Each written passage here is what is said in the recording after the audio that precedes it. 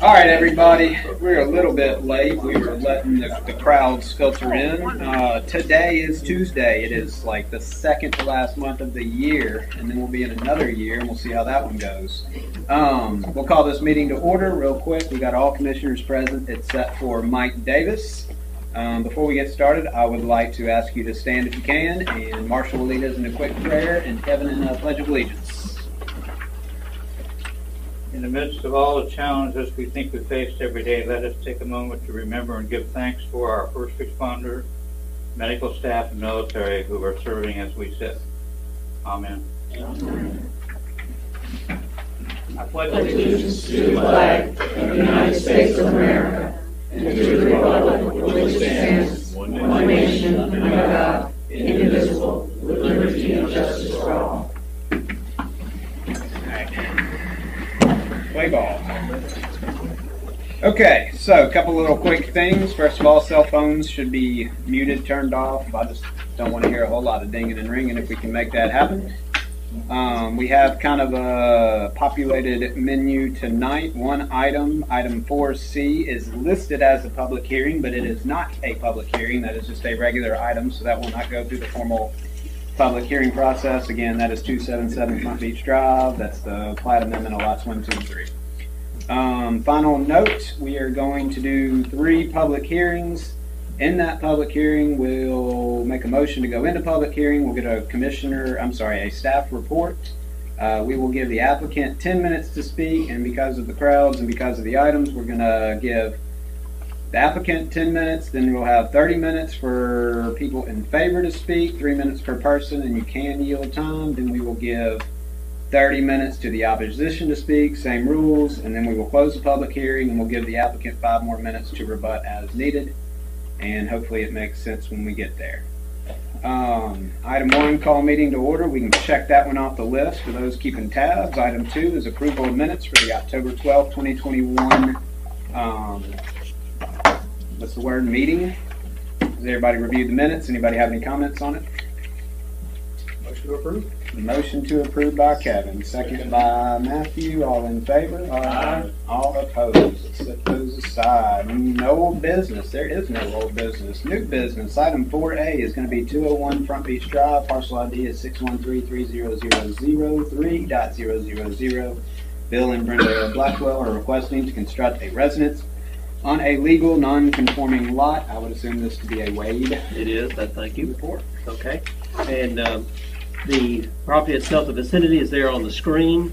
It is, um, you said it's uh, approval to construct a historically platted legal non- non-conforming lot.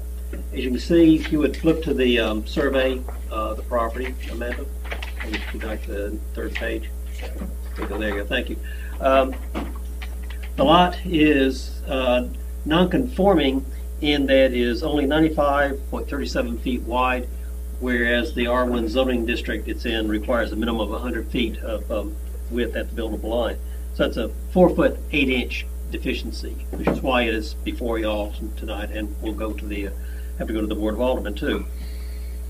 Um, but at least in terms of size, it's uh, over 24,000 square feet, so far exceeds the requirements of the uh, R1 zoning district of 13,500.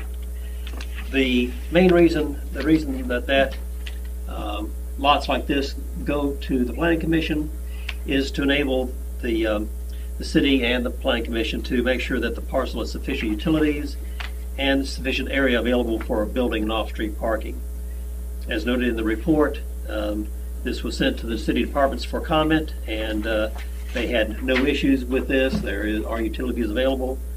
The building department did note that it's in the VE zone, and that does limit to as how the uh, the building will be built on it. But other than that, uh, there are no issues with this. That uh, it is um, suitable for a building of a for single-family dwelling that complies with the side yard setbacks. So staff is recommending recommending approval of the uh, ability to build on this lot. Thank you. Okay. Um, anything for staff before we open the floor? All right, so while less formal, we do try to give the audience a minute or two to speak to any item. Is there anybody that would like to speak about the 201 Front Beach Drive um, application? I usually would ask the applicant if they want to speak first. Is the applicant here? And does they want to speak? Does he speak? They want to do this? Um, he- Did you want to speak to that application? Uh, We'd like to show you the plans and tell you a little bit about what we wanted to do. All right, uh, name and address up at the microphone and try to keep it to about three minutes or so, please. Good afternoon, ladies and gentlemen. My name is Bill Blackwell, and my wife Brenda's with me this evening. And we purchased this lot approximately, uh, almost six years ago. And we've been paying taxes on it ever since, trying to get plans arranged. Seemed like things happened. COVID slowed it down.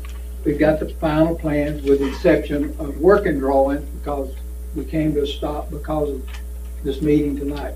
Uh, if- Duncan, can you have me hold these up right quick?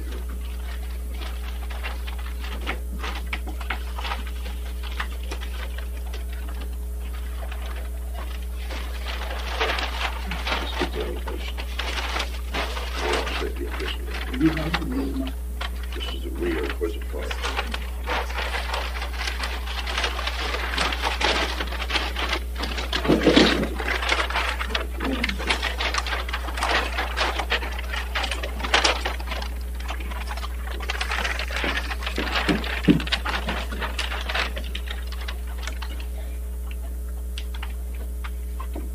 While he's showing you that, being I don't have the three minutes, I'll keep talking.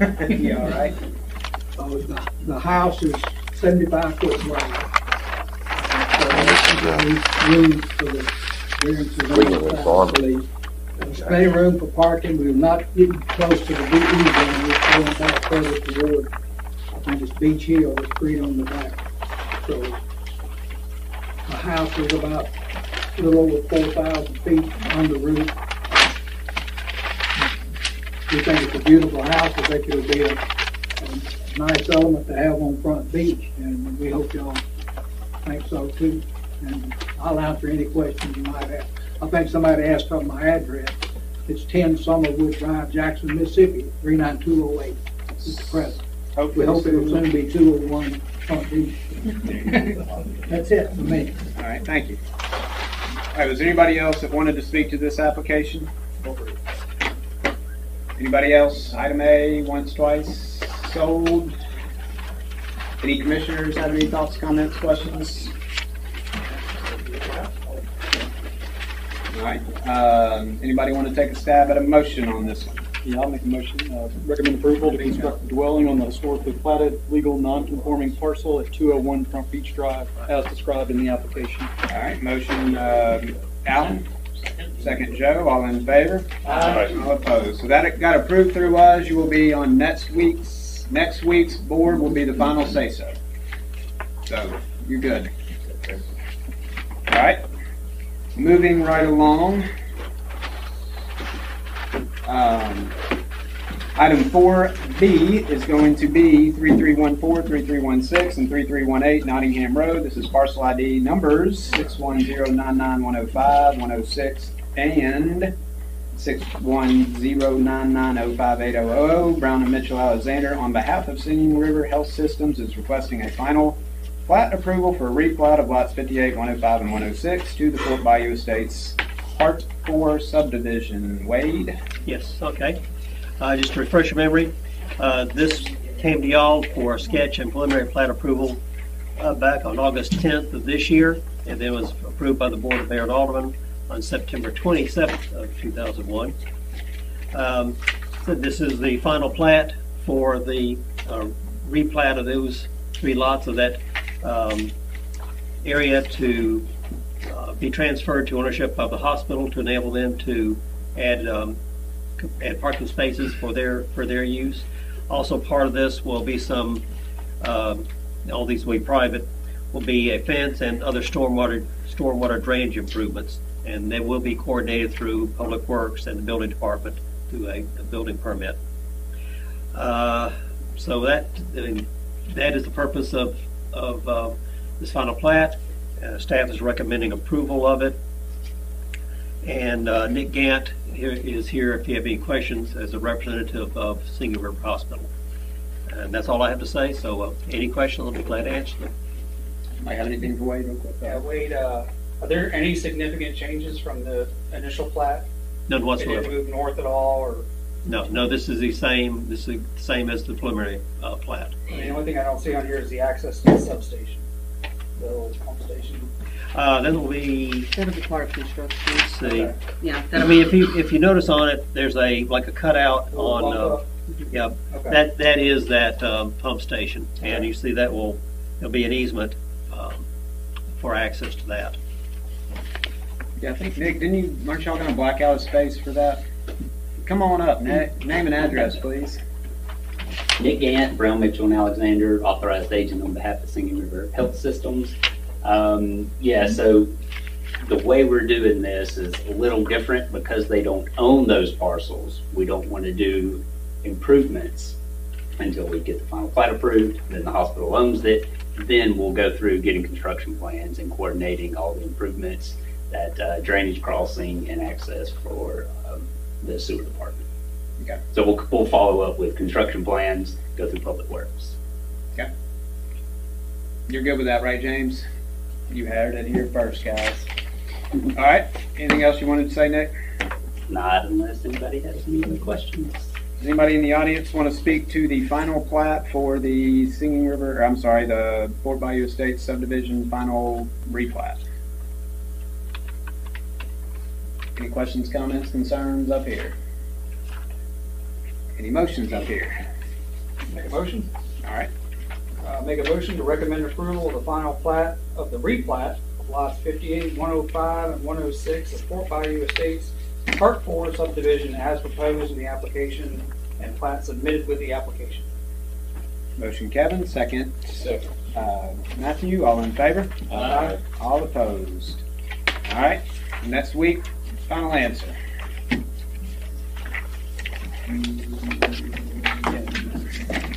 All right, item C is going to be not a public hearing, uh, just a regular old item for 227 Front Beach Drive, parcel ID 610700001.000. James Carter requesting a plat amendment of lots 1, 2, and 3 of the D'Iberville subdivision. I'm assuming Wade again. Correct. Uh, As you can see on the screen, these, this is actually uh, three lots of the uh, subdivision, which was, dates from 1948. And um, the, if you scroll down to the next one, that actually shows the, yeah, there you go, thank you. As you can see, there is a existing house on lots one and two, uh, they're on the west side, the left side of the screen, and also a house on uh, lot three on the, the right side. The house on lot three uh, extends, encroaches into the minimum building side yard setback from the side lot line, which leads to the, uh, what's going on here, that the, that shaded area is being swapped basically from lot two to lot three. And that in a nutshell is what is being done here. Um, It does have to go through this process because it is a planted subdivision, but staff is recommending approval of it in that the, while the, the lots is currently planted dated for 1948, don't meet the requirements of the R1 zoning district, uh, they, this will make them more compliant than they- what they are right now. So, from that standpoint, staff's recommending approval of it, and um, they conclude it. We're Glad to answer questions. I got anything? Yes, my question would be, and maybe it's a question for the applicant, why, why now? I mean, when, when were those houses built? Why is it coming up? I mean, is there, is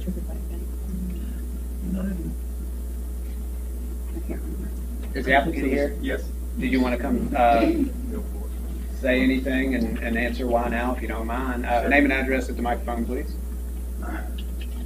Bobby Sargent, I'm the landscape architect for the, my client James Carter, who is in, in attendance. Um, the main reason is the, uh, well, the owner wants to, my client wants to, to sell off some property to, to, uh, do some improvements for his land, but also to allow his, uh, neighbor and friend Joe Cox, who is in attendance as well, to be able to expand his property a little bit and build, he's planning to build a new home in the, in the near future, so it's just sort of a swap of the land a little bit. Um, my client has two lots with a pool on the second lot mostly, and uh, so they're basically trying to come. We're trying to combine that one lot into one for Carter, and then Cox getting another ten feet.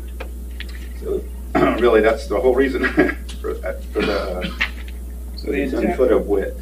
the intent would be to kind of collapse one and two into one lot? Yes. Okay, but that's not being. No, that, that, one, it's one parcel now, but they don't have to change the lot lines to do that. It still remains one parcel. So Gotcha. All right, anybody else have anything for the applicant? Nope. Anybody here want to speak either in favor or against? Uh, did you have anything else to say? I'm sorry. Uh, no, that's good. I- I'll answer any questions. I don't think anybody had anything.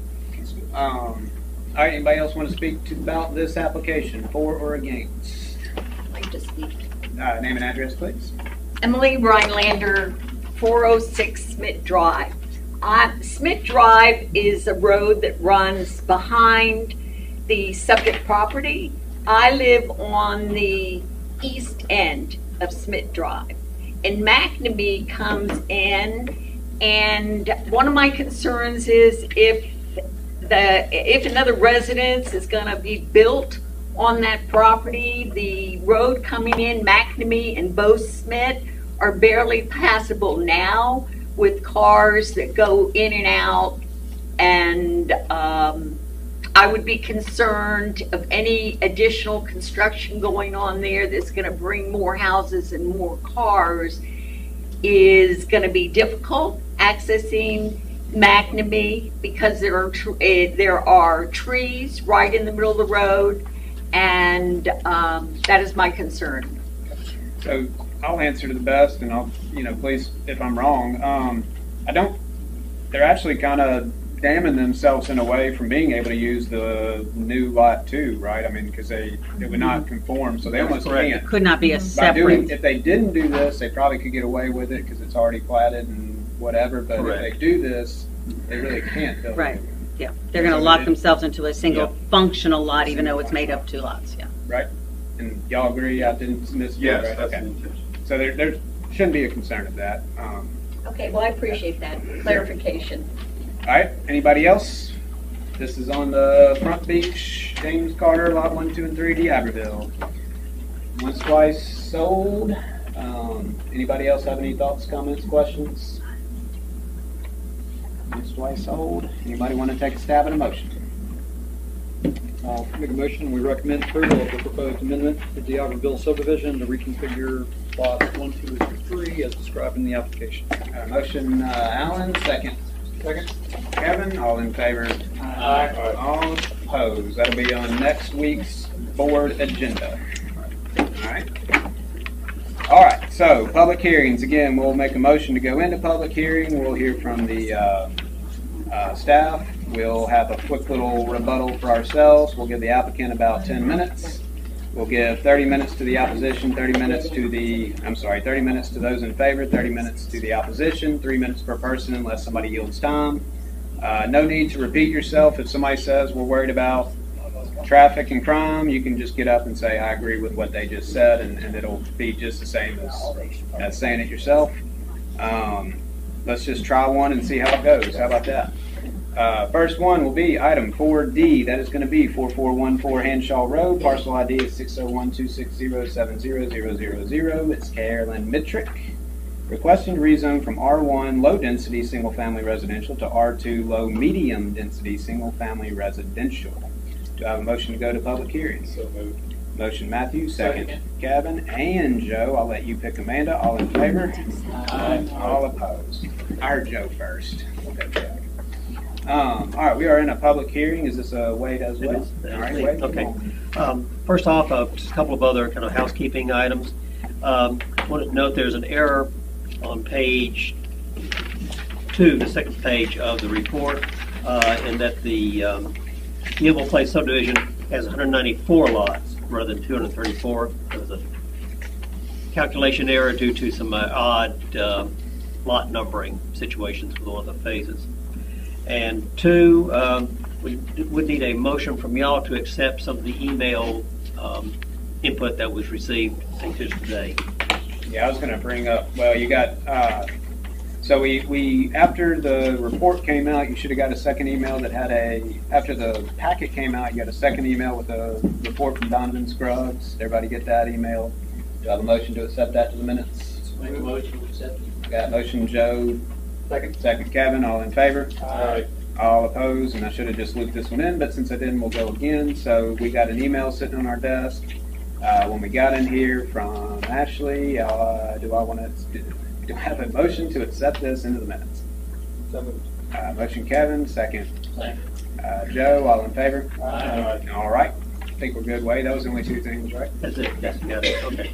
Thank you. All right, um, this is a 61 acre um, piece of property being requested, as you noted, to uh, be rezoned from the R1 Single Family District to the R2 uh, Low Medium Density Residential District, which are both single family districts. The only difference in um, uh, their um, is a difference in the size of lots that are minimum size of lots that are required.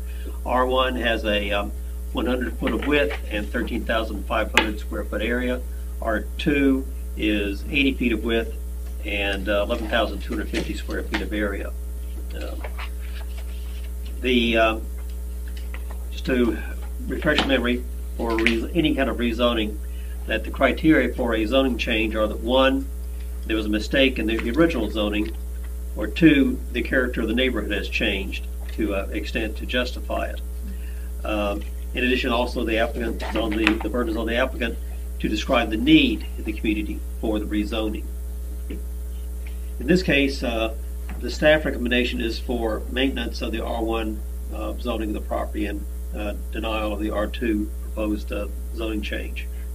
Our reasons for that is that the in looking at the subdivisions in the immediate immediate neighborhood, uh, those, they were developed in a way consistent with the R1 zoning district regulations.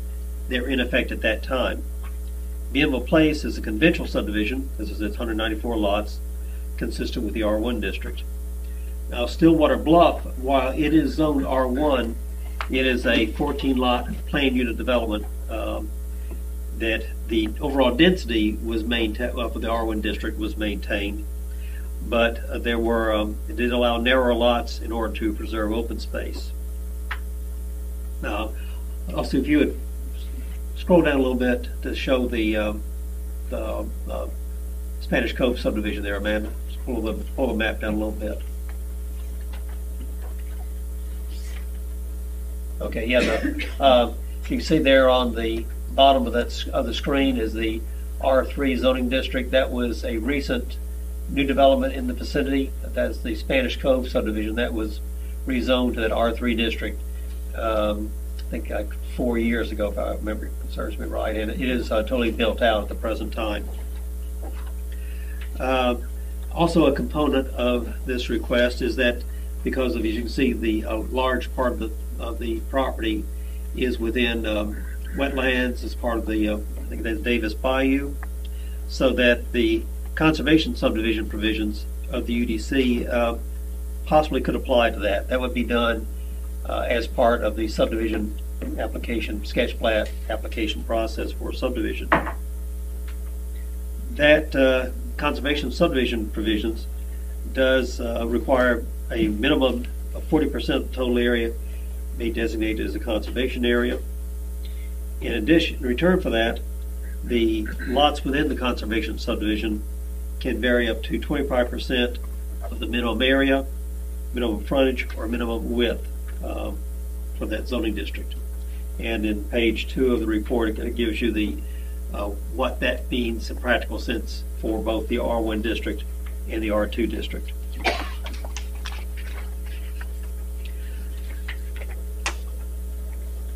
That uh, also uh, the uh, we did look at the comprehensive plan and how that uh, would would apply to this situation, and uh, the comprehensive plan does recognize uh, that there is a need for a mix of residential types, uh, but also wants to uh, ensure that land uses abutting them are compatible with the scale, intensity, and overall character of the neighborhood.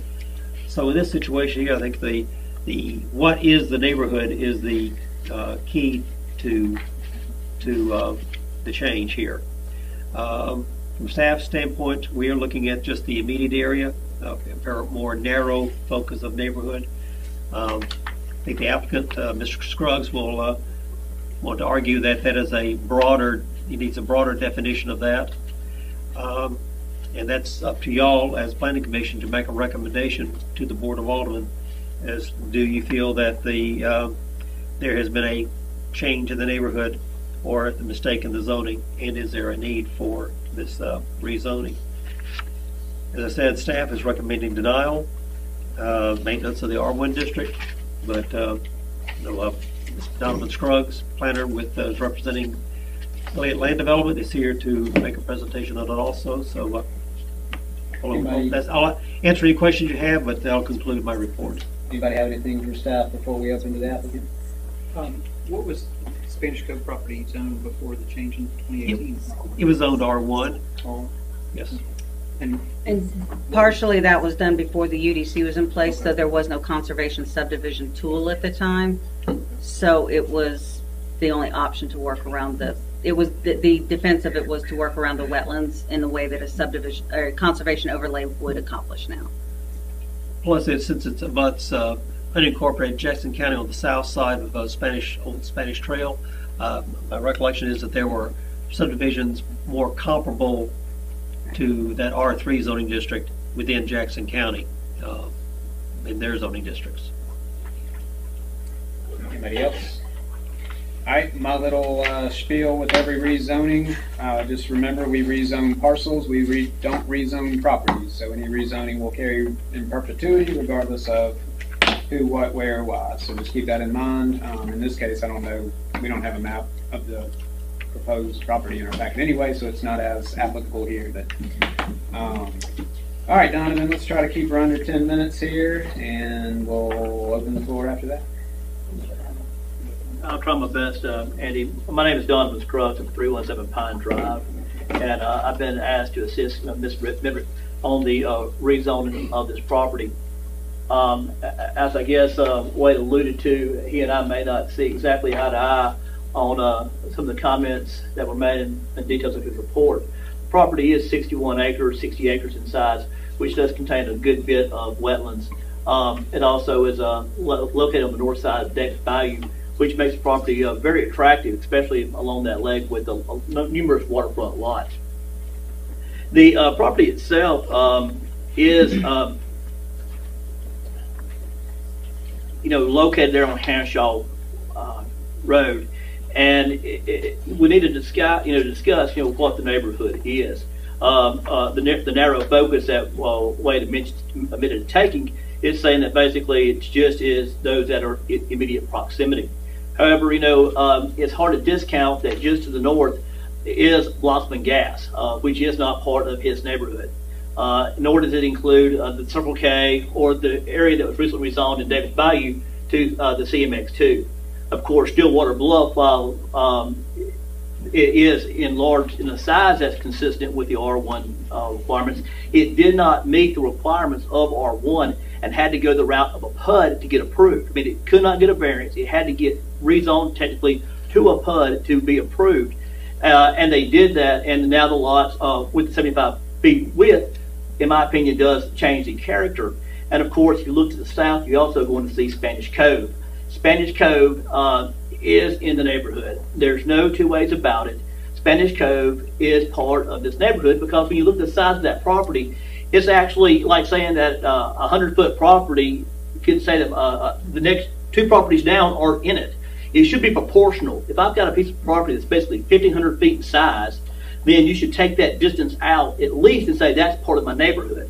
It's when you're dealing uh, primarily in the country in your county tracts, you know, area gets a little bit bigger because you do have bigger tracts of land.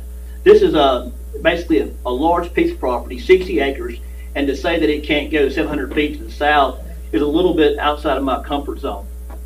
Now, um, and that property is, of course, zoned R3. Now, just like uh, Wade said, with the uh, consideration of what went in with Spanish Cove, this property abuts federal property. It's actually the, the easternmost property in the city that is developable. Uh, everything to the south is privately owned, publicly owned. Everything to the north is either uh, already developed or uh, part of the Singing River uh, Electric Cooperative. So there is, uh, there, this is a fringe property. There is nothing else on the other side of it. Um, as he pointed out in his staff report, um, there, this will not lead to other rezonings. There's nothing more to happen here because it is the last piece of property uh, on the east side of Hanshaw. Uh, this is, you know, details a, a rezoning that was done not too long ago to CMX2. Now, there is nothing developed there, but the property does show that rezoning has occurred, and the only way a rezoning can occur is if there's a change in neighborhood character. So obviously, just a couple of lots up, there was a change in neighborhood character enough to warrant that rezoning. Um, and you know, this is a change in character. You know, you can look at the property and see, you know, just to the north of, of her site, uh, the, the Circle K gas station, which dumps pro- dumps traffic onto Hanshaw Road. Also, the Lost Pizza and the shopping center there, you know, through the, the uh, shared access with um, uh, with uh, the Circle K, also dumps traffic onto uh, Hanshaw Road. So this is, um, you know, development within the neighborhood that I think should be noted, and it does create a more intense area surrounding Hanshaw Road. Uh, of course, this is our, our nearest neighbor to the north, which is uh, the uh, substation, the electrical substation, and Blossman Gas. Blossman Gas has gotten to a little more retail recently. You can buy accessories for your green exit barbecue, and also fill up your propane car with gas as well. Uh, when you look at this particular property here, it kind of shows you a progression of development over the past few years. You know, it shows you back in 1992, um, this property owner had the luxury of having no neighbors, and now um, they've got 195 of them wait in Bienville Place. So when Bienville Place went in, it was uh, a definite change in neighborhood character, um, and that occurred by 2004. All four phases were basically built out. Also by 04, you can see the emergence of the middle school to the south, which um, really is what generates the traffic. The traffic's not really generated by Bienville Place. It's not going to be generated by 70 lots here uh, on this particular development. The uh, traffic that's being generated is primarily a result of the middle school traffic and everybody from Gulf Park Estates moving themselves, uh, you know, out of here and going to work. But you can see in 2019, you've had significant changes because you've had the, the gas station uh, to the north, you've had the development of Stillwater Bluff directly across the street with smaller lots, and you also have the emergence of the um, Spanish Cove to the south. Uh, this is market driven when you look at what's being done. And in fact, uh, the Planning Commission and the City Council have done a very good job at recognizing this. In fact, there's only been one development over the past 10 years that has been developed to R1 standards, by the book to R1 standards, and that's Maple Woods. That's the only one. Seaside of uh, East Beach, uh, those lots don't meet R1. It has an R1 designation, but it's got lots that are barely over 10,000 square feet in size. So there's been a lot of give, there's been a lot of calling something R1, even though that's not the way it was developed. Just like we call Spanish Cove R1, not Spanish Cove, uh, Stillwater Bluff uh, R1, even though it had to get a PUD to actually be approved that way. If it had to get a PUD to be approved that way, that means it does not comply with the standards. If it does not comply with the standards, it does have an impact or a change in the neighborhood character. Um, and th- this is some Im- images showing it. Uh, but uh, what I want to say on this is that the, primarily the number of properties that are being developed throughout the city are R3 and RD. They're not R1. They're not even R2. There's only one development that was designed to R2 standards, and that was Case and Cove. So for the most part, this city has gone toward doing everything in an RD or R3 standard, and what we're asking for is a R2.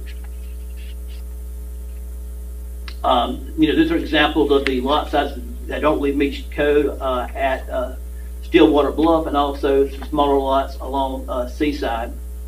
Uh, this is uh, our neighbor to the south, uh, Spanish Cove, that has lot sizes that are in the neighborhood of 8,000 and 7,000 square feet, 7,800 square feet size. Much smaller lots to our south that do impact our neighborhood.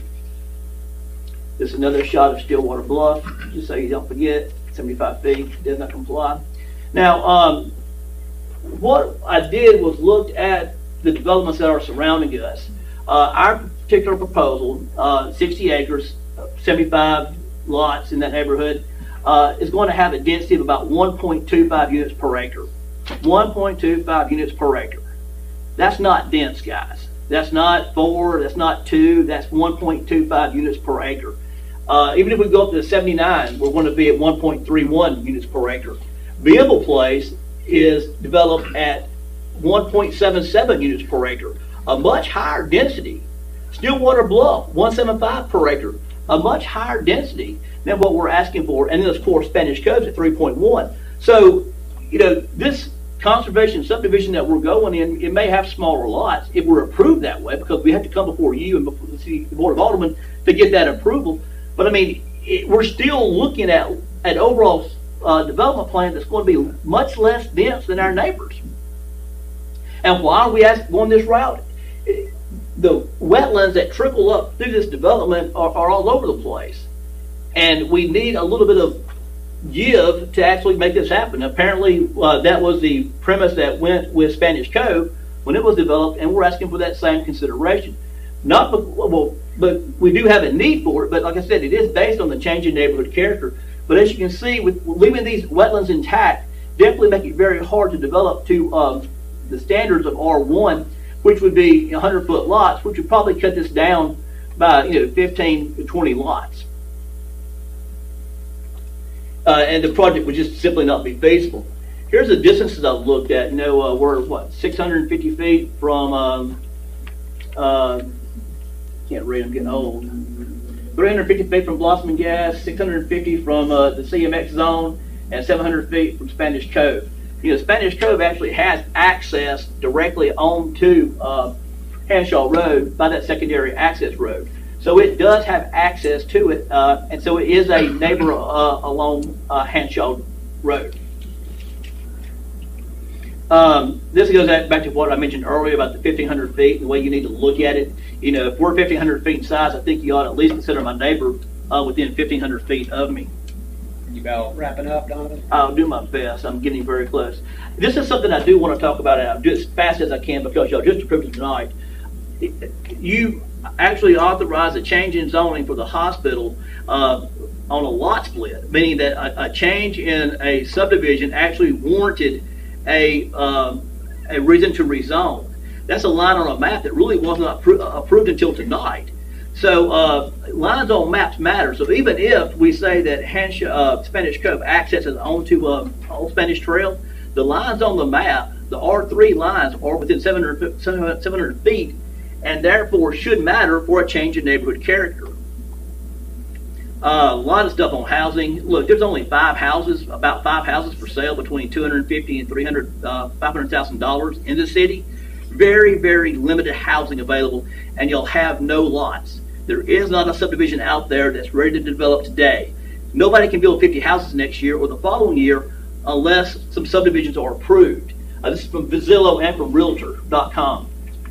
So um, I, I, do want to mention, and I'll be as fast as I can because I know that the people from Bienville Place want to know what's going to happen. Uh, what we're talking about doing here is uh, houses that are going to be about $365,000 in value. That's the, the price we're look, looking at right now. It's probably going to be valued at more by the time they're actually constructed. Um, the uh, they're going to be predominantly brick. There will be some hardy board on there, but it's not going to be uh, some of the vinyl or some of the EIFS that you see in other areas. Uh, I looked at the numbers on Zillow. I'm not sure how accurate that is, but it looks like the numbers in Bienville Place were like 130, 140, 150 in uh, in square footage. This is going to be about 170. So we do plan to put out a very, very good product uh, if we're allowed to move forward with this. They will not be the 3,000, 4,000 square foot houses you have in Bienville Place, but they will be quality homes uh, which is really what people are looking for nowadays. We, to address traffic, our access points are planned to line up with Bildo Place and with the um, Big Ridge or um, High Ridge Drive. That will give us the opportunity for a four-way stop or a roundabout if uh, the city sees it necessary to do something to alleviate those concerns. So we do want to work with the neighborhood, uh, our neighborhood that's across the street and the ones to the south of us, and hopefully uh, put together a project that would make everybody happy tons of reasons for public need. Uh, I've gone through those, but basically what we're asking for is that you uh, just tell Rob and Ricky and the other uh, members of the planning uh, of the board of aldermen to uh, to recommend approval or accept the recommendation for approval for this project based on the change in neighborhood character and of the evidence of uh, public need that we've demonstrated in my report and here tonight. And I'm sorry if I'm long-winded, but you know, probably expected that when I got up here. And, and for record's sake, you only say Rob and Ricky because they're in attendance tonight, right? You oh, they're here. All right.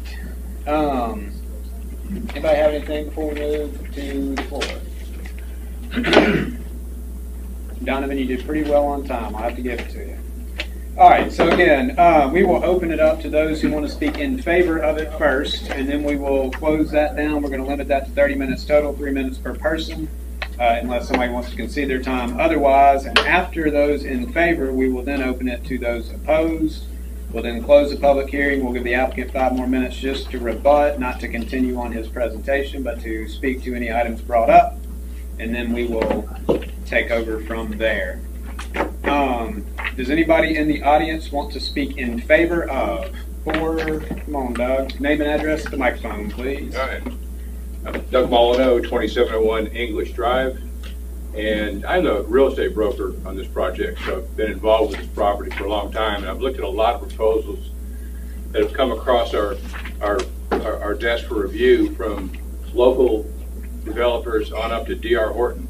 And I can honestly say that this plan that, that uh, Brandon Elliott's put forward is the best plan I've seen to create the nicest neighborhood for our city and it preserves the um, wetlands in their natural state, which I think is super critical. The density, they're calling it 1.25 lots per acre. It's really 63.59 acres. It's actually less density than 1.25. If every lot got the same amount of property, uh, uh, you know, 75 lots and 63.5 acres, every lot would be about 0.85 acres in size. So the density is so low, I think it's a no-brainer to, uh, to, you know, to approve it because it's well under the, the um, density of typical R1, uh, even R2. Uh, The last thing I want to say, I don't want to reiterate anything that, that Donovan has said, but I do echo everything he said with the change in the character of the neighborhood and the public need. But this property is, is, is so isolated when you really look at it. To the, to the east and to the south is 1,100 acres of government Sandhill Crane Preserve. To the north is the railroad tracks, which is a very natural barrier. You've got the bayou running on three sides of the property, Hanshaw running down the west side of the property. Nobody would have any clue as to how big lots were in there uh, driving down Hanshaw. You'd have to live there to even know about the small variance that they're requesting from R1 to R2. You just want to see it. Lot sizes these days have very little to do with values of properties. Uh, Mulberry Place is a prime example. Those are R2 lots, very small, large houses, most expensive in the area. Uh, so I don't think that the, I feel very strongly that this, this development that he's proposing is going to uh, add to our community uh, in, a, in, a, in a product that we so desperately need. Thank you. Thank you. All right, anybody else want to speak in favor? Uh, Name and address at the microphone, please. Jason Garner, 2501 Danville Boulevard. Um, I'm just here to uh, to say that I do think there's a great need for housing in this market. Having a, a, a child that just got to move back home from living out of state, um, we got to looking for, for housing, and uh, it was virtually impossible, as Donovan pointed out. There was only five available houses, you know, in a certain price point at, at that time, and I am a real estate professional, and I can concur with both Doug and Donovan's, you know, statements about the, the lack of, of, of housing. And um, I did have a chance to, to look at this property as well. Um, at the end of the day, uh, Mr. Elliott's plan to develop this property is, is great. He's avoiding the impact of the wetlands. Um, if, if I would have had an opportunity to try to develop this thing, I would have tried to mitigate wetlands and things like that. And, and frankly, I would have done more harm to the, the area and what's, what's going on than he is because he's trying to avoid the impact of the wetlands. It causes him to have to develop slightly smaller lots. But as Doug mentioned, the lot size doesn't matter anymore. So um, Mr. Elliott builds great houses. I have friends in those houses. They're, they're, they're great uh, additions to the neighborhood, and so I'd be totally in favor of this uh, this development. So. Thank you. Anybody else in favor of, want to speak? Uh, Name and address, please. Hello, everybody. I'm Carolyn Mitrick. My parents bought that property in 1945. Time has gone by. Mr. Elliott has done a remarkable job of putting a beautiful, beautiful plan for that property. It's something that I need to do at this time in my life because I'm alone. I don't need 60 plus acres. I don't need the huge house that I'm in, but that's not the point. The point is the development project is beautiful and I hope that it is approved and I would recommend it very, very much. Thank you so much. Thank you, Ms. Kaler. Anybody else in favor of? Name and address, please. Yes. Um, I'm Faith Williston, 104 Kirkland Drive, um, and I want to echo everything that's been said so far. Um, I really am excited to see a developer come in and be concerned about the wetlands and our little animals that crawl around that we all love so much. Um, so I would encourage you to reconsider your, your negative um, report to the, to the commission. Um, and I would encourage you to approve the, the rezoning. Okay, Thank you, Faith. Anybody else in favor of?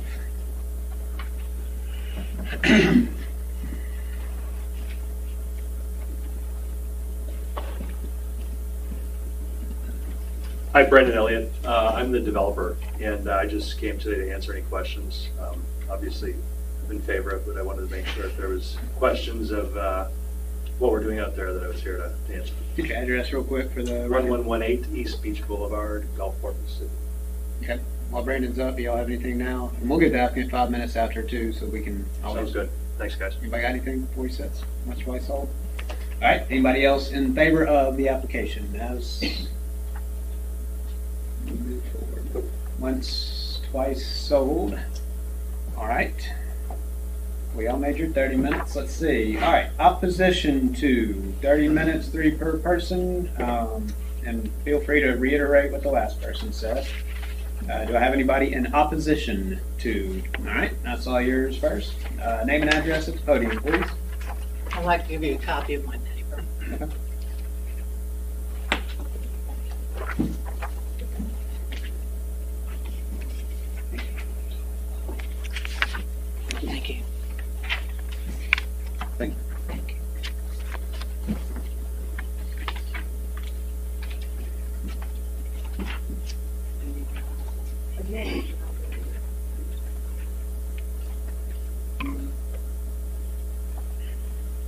My name is Phoebe Walls, and I excuse me, and I represent the homeowners association for Bienville Place.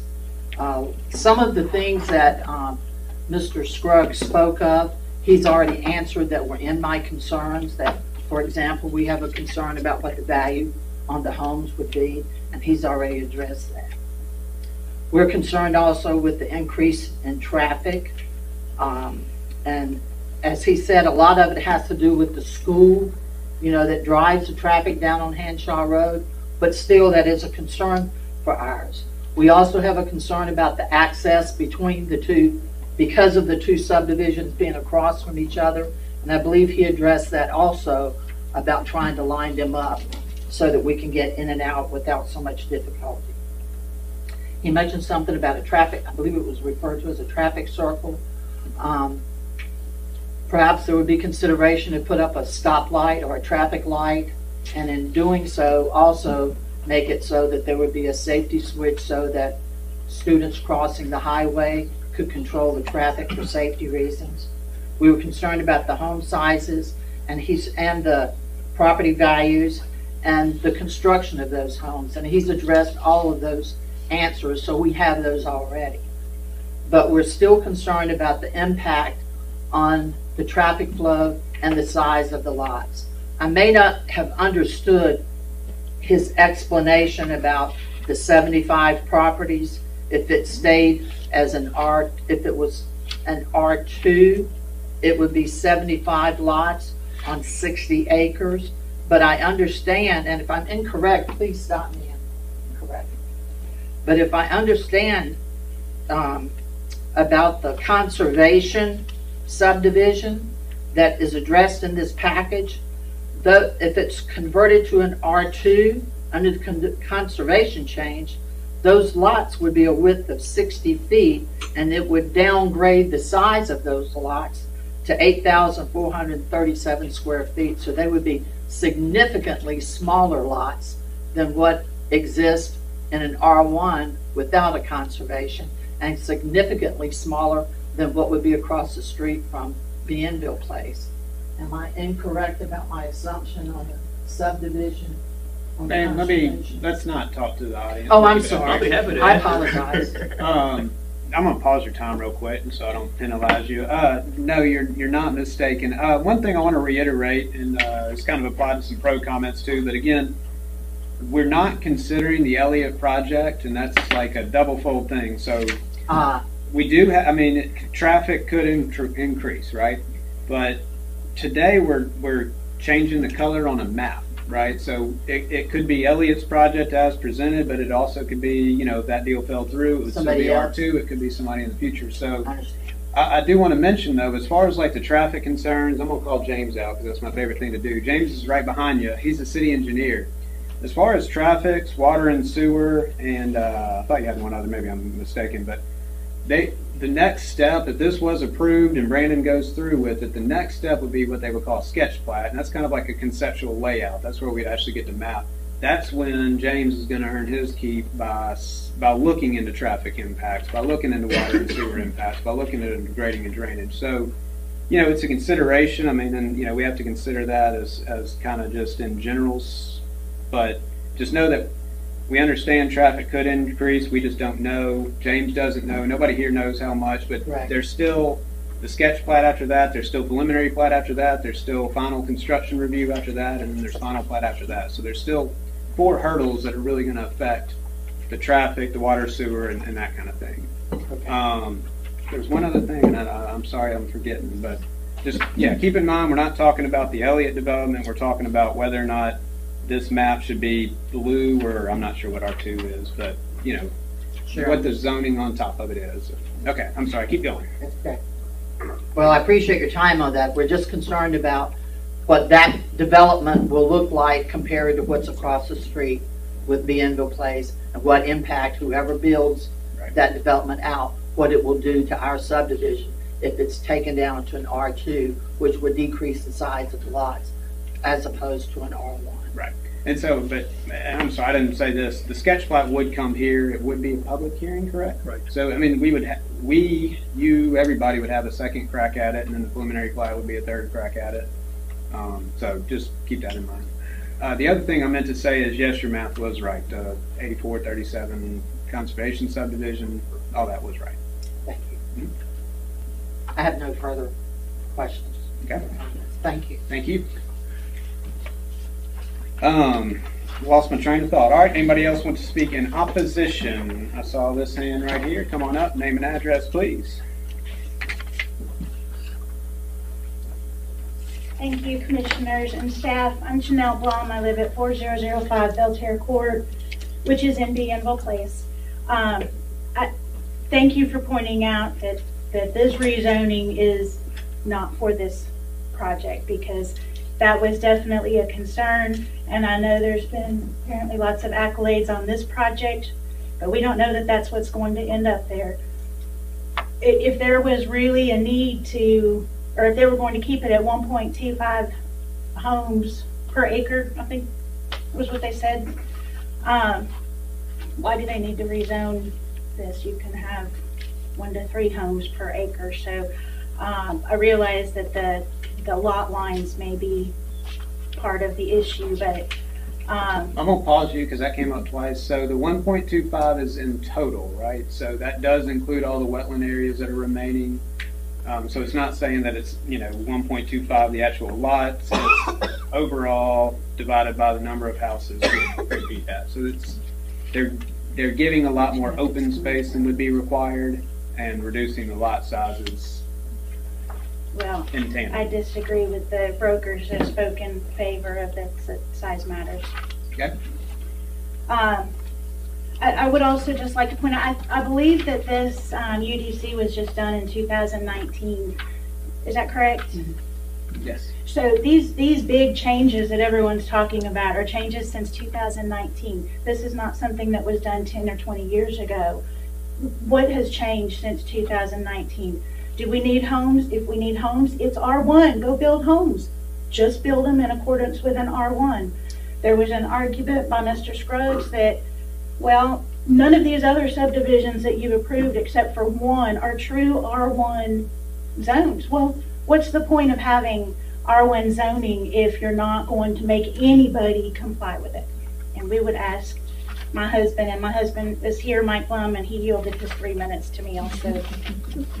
Is that true. Mike? For the record? I have a Mike Blum at the same address, and he said he can, he conceded. He signed it. All right, keep going, Mr. Right, thank you very much. Uh, The wetlands, yes, that's going to be a, a problem for any developer, but that is not a change in circumstances, they've been there. Um, This is a really heavy burden that, that is required, as y'all know, um, to rezone property.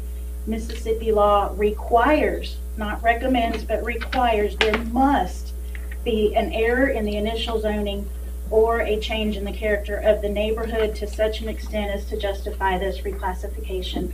I don't know what has been so drastically changed in two years, um, but I also don't think that there was an error in your zoning just two years ago, although this property has been um, apparently under R1 requirements before that, as I understand it. As far as the adverse impacts, traffic will be impacted. It is just a matter of how much. Um, I did pull some MDOT, and if I could put one in the record, please. MDOT traffic counts. I couldn't get the whole thing, if y'all could, I've got a couple, if I may approach. Um, Hanshaw Road, the traffic counts per MDOT are at ten thousand cars a day. If you'll look, that's the most of any road in Ocean Springs, any, except for Highway ninety. The highest traffic as it is. Is it in part because of the school? Yes. Is it in part because there has been development on Highway ninety, such as the Shell Station and the, um, shopping center there, which admittedly, by Mr. Donovan, pours traffic, dumps traffic, I think was the word, onto Hanshaw. Yes, traffic is increasing there. It's going to increase more with an R1 subdivision. It doesn't need to increase by an R2. And I just ran some figures and I realize this doesn't take into account streets and open space and all. But if you just take the 63 acres, what they would be allowed with three per acre in R1, 189 homes, in an R2, 252. So we're looking at an additional 63 homes there. I think 189 or whatever they can fit in there um, is probably going to be sufficient to satisfy any need in housing and eliminate the traffic problems. There was a suggestion about a light. Well, where's the light going to go? If they line up with Cabildo, two houses down is my outlet onto Hanshaw, which is Bergerac. How are you, how is that going to be handled? Traffic getting out in the mornings is a nightmare. In the evenings, it's a nightmare.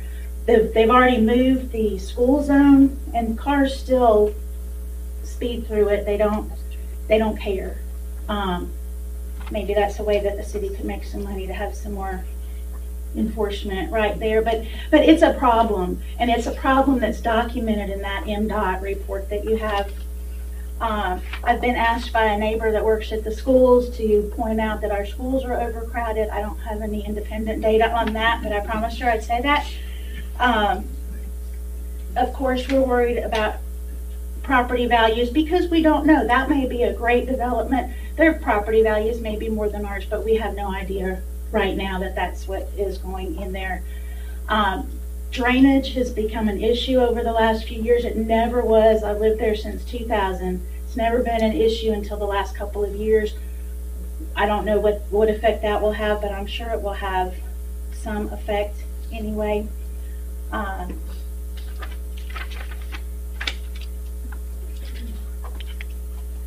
So you got about one minute left on Mike's time. I'll yield my three minutes to her. All right. Yeah, I'm on. Uh, I need your name and address now real I've been quick. rushing. Dan Day, four zero zero two Belterra. Did you get that, Amanda? Yes? No. What's the name again? Dan Day, D A Y. Thank you. Thank you. Now you got four minutes. Okay, well, I can slow down a little bit maybe. I've been trying to rush through it. Uh, Stillwater has been discussed. it's a very nice subdivision, probably nicer than our subdivision. Uh, but still the density is not the same as in R2. I think y'all said that even though it's a PUD, it's still, the lot lines are changed, but the density is not. Um, still, there's more traffic coming out of there though. Um, Spanish Cove rezoned to R3. I don't consider them my direct neighbors. These, this lot is my direct neighbor. Uh, So I don't think that, I, wouldn't consider that as far as a change in uh, characteristics of the neighborhood, but in any event, we're talking about 2009 again, not, not way back. Um,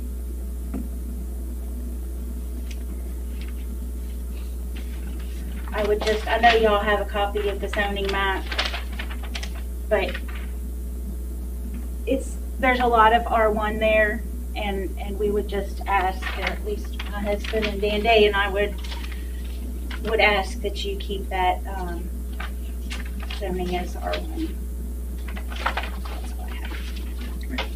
Thank you, Janelle. All right, anybody else in opposition to? All right, red shirt, uh, name and address at the microphone, please. Chris Kennedy, 201 Bluff Cove. I'm the Stillwater pre- uh, HOA, Stillwater Bluff HOA president. And talking about Stillwater, our lots in there, although they are smaller, they're still 15,000 square feet. And one of the concerns, that I've got several people from the neighborhood here, we're all opposed to it, and I think the consensus of our neighborhood is to stay a R1. Um, and one of the things that, you know, the fine print, whether whoever develop it, develops the property, even if it's an R1, you can still take it down, I think, to 10,125 feet per lot on the the wetlands. Yeah, Is that that's right? that's correct. Yeah, so R2 takes it down, what, 2,000 feet more, so uh, if you got down to 8,000 feet, you could almost put two homes on the, lot- the, the lot size I have right now. Um, And I do, to me, the bayou is a natural barrier, I don't consider um, Spanish Cove part of our area, and the same with the railroad tracks, to me, that's all commercial out there. You've got some old homes, but most of that is becoming commercial. You've got the, uh, all the development out on 90, nobody's gonna put a house up there. Um, And also with the value, like she said earlier, um, I've got a lot invested in, and, you know, maybe it'll be good, I don't know. I'd like to keep it at a R1. People in Ocean Springs that come here, they do, they are willing to pay more. I mean, you can see that everywhere around here.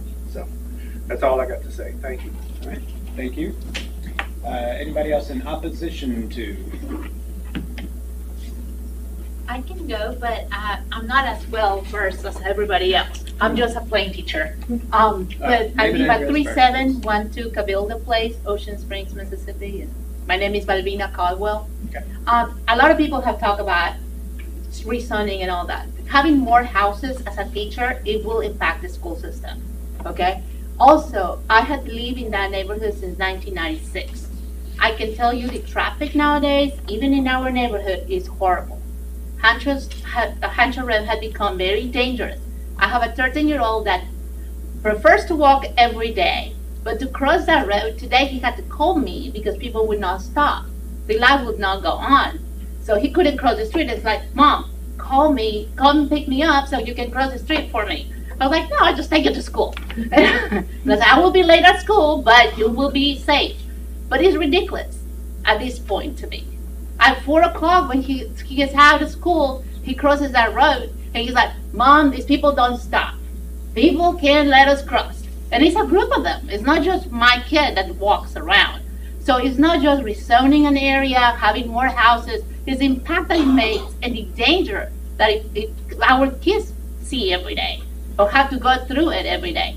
The light today wasn't working for the speed light. I mean, I know this is totally different, but the more houses you have, the more people you will have, the more resources they will need. So I believe that you need not to rescind this. That's why I'm in opposition to that. And also, you need more security in Hanshaw for my kid to cross the street. but anyway, Okay, thank you, Ms. Caldwell. you're welcome. Um, Anybody else want to speak in opposition to? All right, Name and address at the microphone, please. James Grace, 3718 Bergerac, that's Bienville Place. I'll make it short. I agree with everything everybody's just said now. I'm opposed to it, mainly because of traffic. You, you know, think about it. Once you turn south on uh, Hanshaw, you can't make a left until you get to the middle school. but as soon as you get one person making a left there, traffic's going to back all the way back up. I know this is not about traffic, but I, I see that happening. It's like everybody said, it's bad enough already. So think about that traffic guy when you start planning that. Maybe put an access in from Highway 90, buy a lot there, and put a new river across it. Maybe that'll do it. Okay. Thank you. Thank you. Anybody else in opposition to?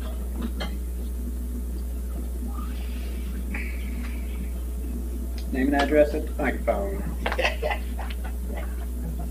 Hi. Huh?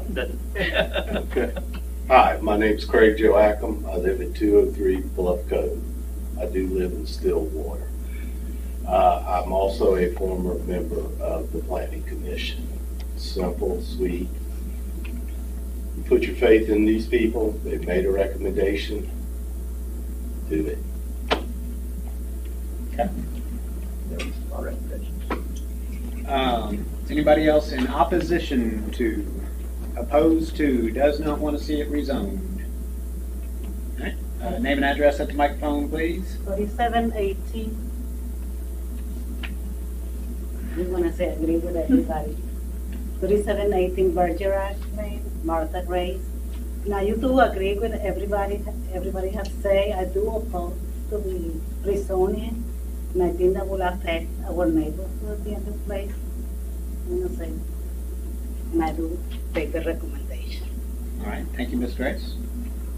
All right, anybody else opposed to, opposition? Anybody? Once, twice sold? Do I have a motion to go out of public hearing? You only get five minutes. After we get out of public hearing? Uh, all right, motion by Matthew, second by Joe. All in favor? Aye. All right, we are, uh, we are opposed. We are out of public hearing, um, and yes, we will give the applicant five minutes to read, just to address the concerns and items addressed by the opposition or the proponents, if you'd like.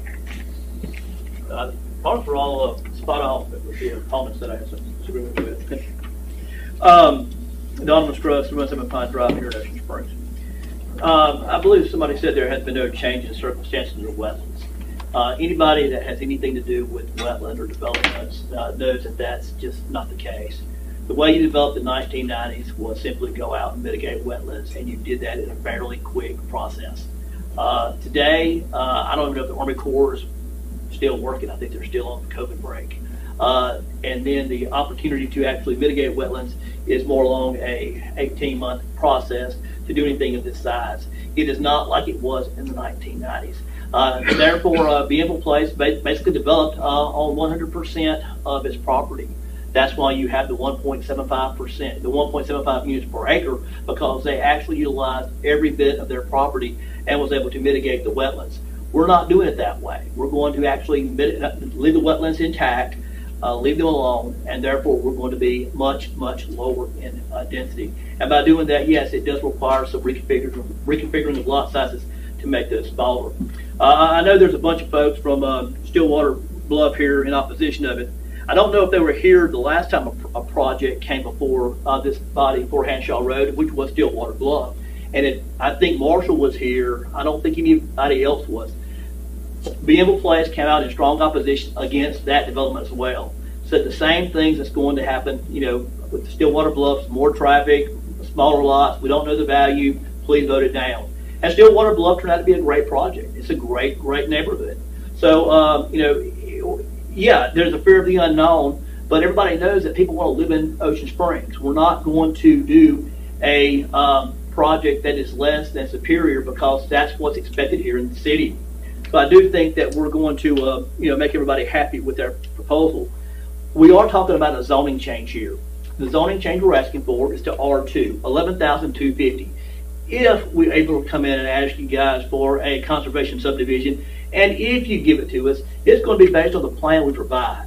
If we come in and say we're going to build a bunch of 8,200 square foot lots and we're going to smack them in there as tightly as we can, and it's going to, we don't care what it looks like because we're going for density. If you guys approve it, you need to lose your jobs because that's not what we're going to do. I mean, we're going to provide you something that can sell and something that the people in Ocean Springs want to see. So no, we have just not this by right opportunity to come in and say we want to do 8,200 square foot lots because now we have a uh, R2 zoning. That's just not the case.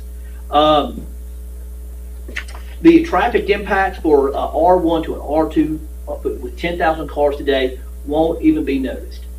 A subdivision will. I'm not going to say that, you know, 65, 75 units aren't going to be noticed, but the minimal difference between 65 units and 75 units or 58 units and 68 units is going to be very, very minimal. So keeping this as R1 basically going to kill the project, um, and you won't get a guy who's coming in saying, I'm going to save the wetlands and I'm going to try to do this as, as, as nicely as possible. Brandon Elliott builds good homes. Uh, there are developers out there that don't build good homes. So I do think that this project is something that would uh, enhance Hanshaw Road. It will enhance Ocean Springs, and it will enhance the neighborhood that extends all the way from Highway 90 to uh, Spanish Cove. So um, that's my points. Uh, I'll be happy to answer any questions you got. I do want to point out that I gave you a book to read. Uh, uh, I want to believe that if Wade had the opportunity to read that book, his uh, recommendation would have been a little more positive a lot further away from the denial. I'm not saying he would. He may not have liked it anyway. I mean, it may have put him to sleep. But I do know that it was put in, turned in late last week. He did not have the opportunity to review it, and therefore it's not part of his um, review process. So uh, Craig, he may have actually been able to uh, give me a positive recommendation had he had the opportunity to look at that. It's not fault, not blaming Wade for it, but it is a fact that I do want to point out. Okay. While he's up here, has anybody got any questions, comments, concerns for him or Brandon for that matter? Okay, thank you, Donovan. Thank you. All right, guys, let's hear some discussion.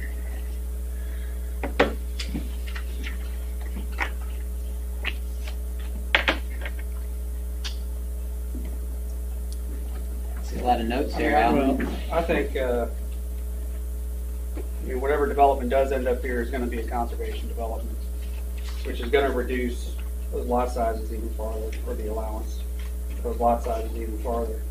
But that's not what we're looking at. Yeah, I would say. You can't really, I don't think we can factor Well, that in. I think that, your point I think the is- wetlands does factor into what this parcel is zoned. Would Whether you it's a say your mistake- point is not that it will, but that it could, correct? That if we did rezone it to R2, they could use it as CS? To get down to sixty feet of frontage on a lot. But the cost of that is a forty percent turnover of land, or not turnover, but. Conservation. Yeah. We don't even know the amount of wetlands on the property. I mean, we're looking at what's in the flood zone, it's not necessarily what's wetlands. That again? I mean, that's the floodway, right? It's not the, it's not the wetlands necessarily. Yeah, the So I orange think- on that map would be, I assume, way, that's the hundred year floodplain on the orange, correct? That's correct. That's, the orange is the uh, AE zone, the 100-year floodplain. But you can build in that. Right. Does anybody here think this was a mistake to zone it R one in the first place? I don't. I don't. I don't think we're, I don't think anybody's arguing for a. It was a mistake. Right. So we can take that one off the table. Yep. I think our charge is what is the neighborhood and, and has that neighborhood changed significantly enough to justify, has the character of that neighborhood changed to justify a rezoning?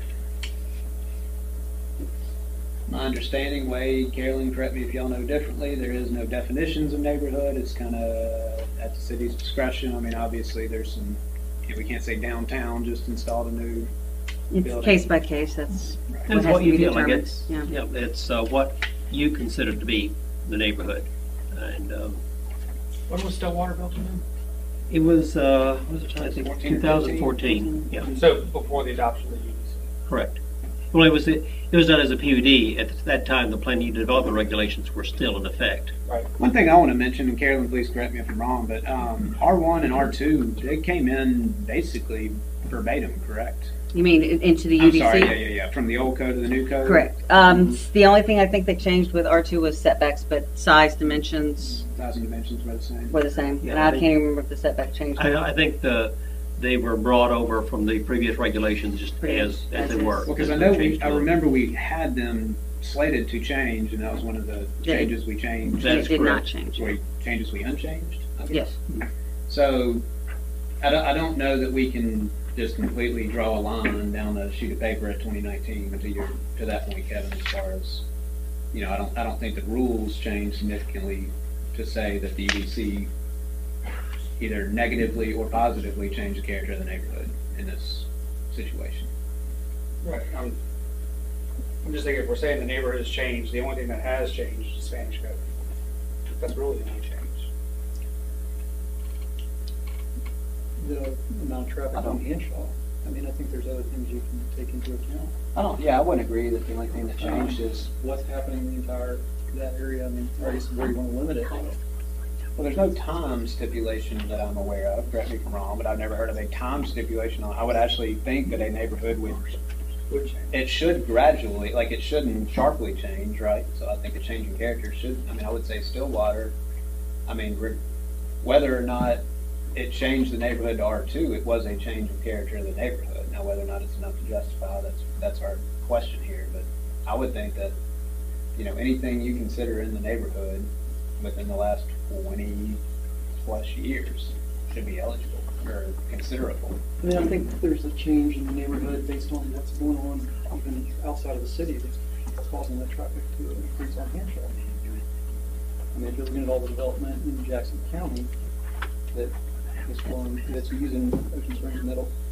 and that's Alan, going- can you pull your mic? Oh, that's going through, you know, going to school at Ocean Springs, uh, and being there in Don't be afraid of the microphone. It's okay. South Jackson County goes to Ocean Springs. Can I have Amanda pull that up on the big screen? Can you get the zoning map up? There are the city corridor.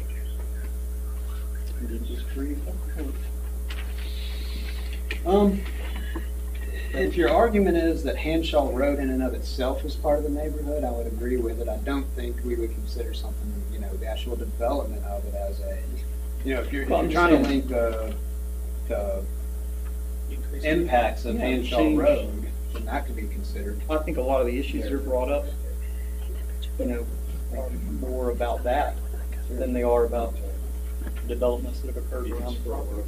While he's doing this, I want to clarify one, one statement I made earlier that may have sounded weird. Um, the traffic impacts, the reason I don't think we can consider it now is, to Donovan's point, it is about, maybe not quite 18 months, but it, something this big could be an 18-month wetland deal, but somebody could effectively, probably not, but could build the entirety of those 60 lots in an R1 fashion and get double the 75 lots they're proposing. So the traffic really can't be considered till later as far as what those actual impacts are. Um, Go ahead. What was your point, Matt? I mean, my point is, looking at it, is the really only R2 that is existing in the city right now is down, you know, in Bethel and uh, Fort Bayou Estates, a little bit on Riley Road, and then you go back on CC Road, and that's pretty much it on the R2. Um, Pretty much everything adjacent to the proposed property is all R1. I mean, so, I mean, I'm, I'm not seeing a big character change right now to justify it on my part. Thoughts? You don't consider Spanish Cove then part of that? Spanish Cove was a little bit of a different, um, how the property was set up in itself, and we didn't have the, we didn't deal with the wetlands.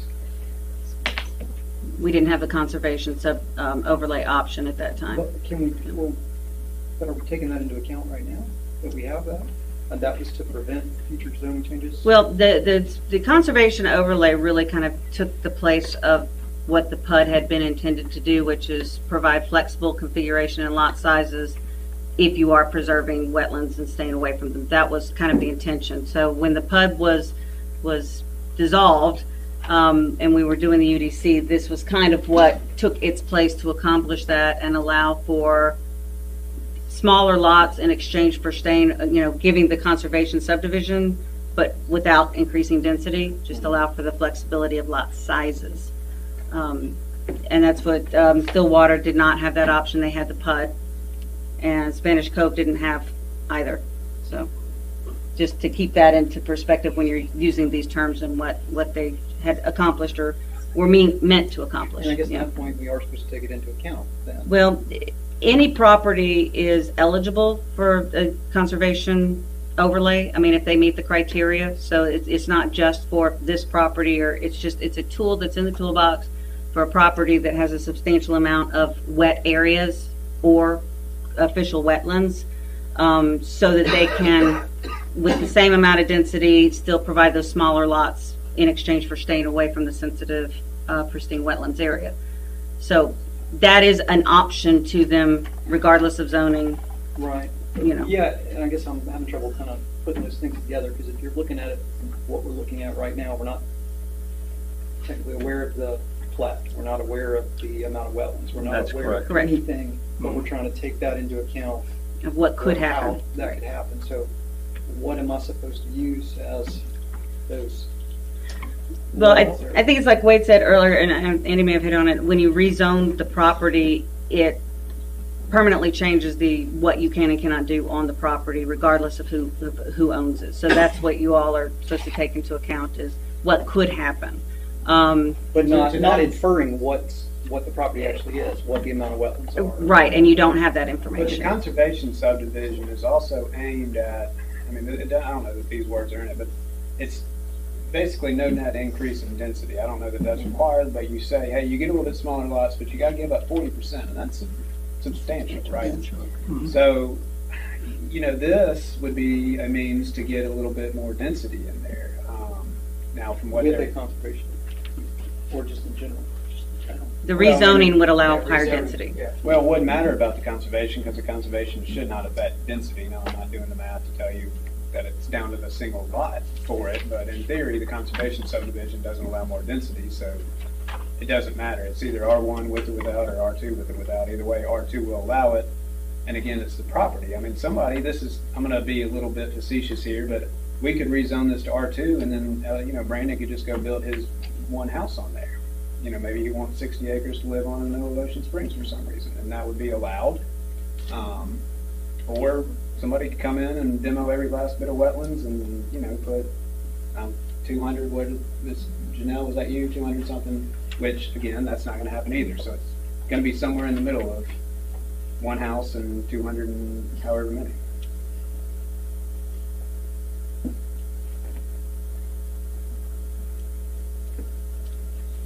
Y'all got anything down on that end of the table? Come on, Marshall, I know you got something to say.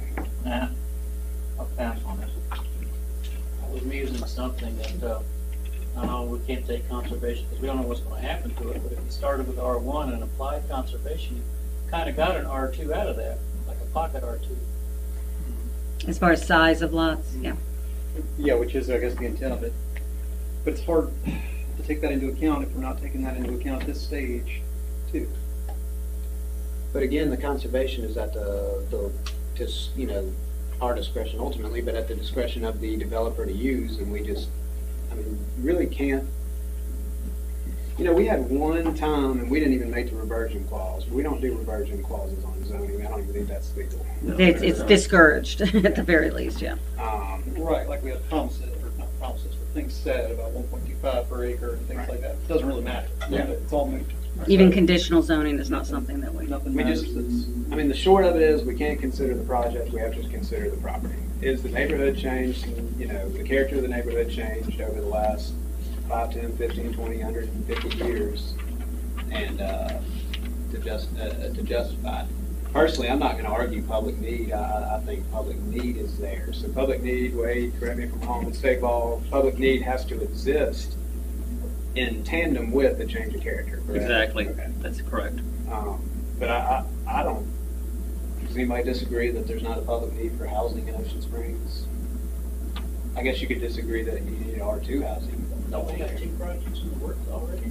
The last two, over on Riley Road.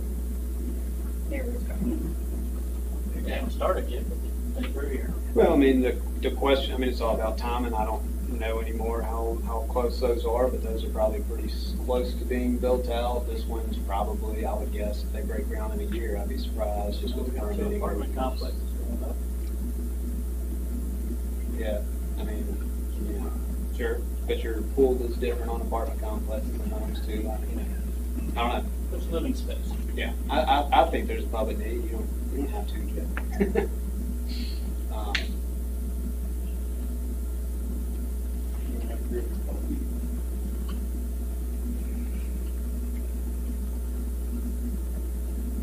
Anybody have anything else? Questions, comments, concerns? Feel free to poll the audience. Um, all right, well, Joe said call the vote. Anybody, anybody, anybody want to take a stab at a motion?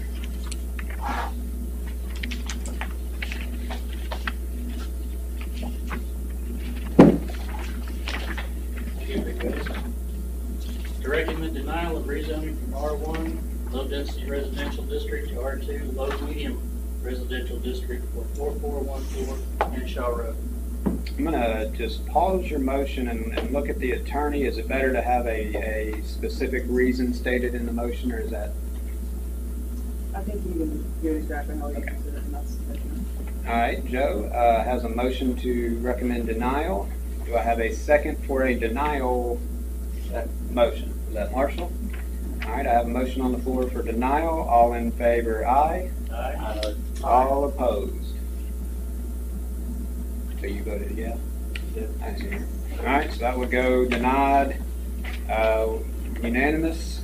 Uh, Just to remind, let me ask Carolyn, is this, this is going to wait, correct? This will be advertised for a second public hearing at the first meeting in December for the board. All right, so everybody needs to know that. What was it, what was the date? Uh, the first Tuesday, December 7th. December 7th? All right, so there will be a second public hearing on this particular project uh, on December 7th at the Board of Aldermen meeting. Same bat time, same bat place as we're at now, Tuesday night, December 7th. And it will be advertised again, so any input can be emailed uh, ahead of time, will appear and be presented to the board along with the input that was received here today. Yeah, so everything, uh, actually, one more little piece of housekeeping. We did receive two handouts. One was Bienville Place, uh, letter, we'll call it, and the second was the traffic count. Uh, that was all that was handed out, correct? You had the one, you had the other? All right, do I have a motion to accept those into the minutes? And can you in my PowerPoint. Can, and, uh, PowerPoint as well. So moved. Second. Uh, motion to accept all three into the minutes. Uh, motion Matthew, second Kevin, all in favor? Aye. All opposed? Uh, thank you, Donovan. I would have definitely glazed over that. Um, if y'all didn't hear Carolyn, you are allowed to and encouraged to send in your letters, thoughts, even you can send them to email. Do you want those to you? Yeah, the email, there's a planning admin, um, the, the email address that was in the uh, public notice, planning admin at oceansprings-ms.gov. That's just the best, the best way to go ahead and have it, and then we have it in writing, and we'll incorporate it in the packet that goes to the board. Okay, so we'll be advertised again. Y'all will get a second chance. Both the those in favor and in the opposition, please comment, show up, and uh, twelve seven. Okay. Um,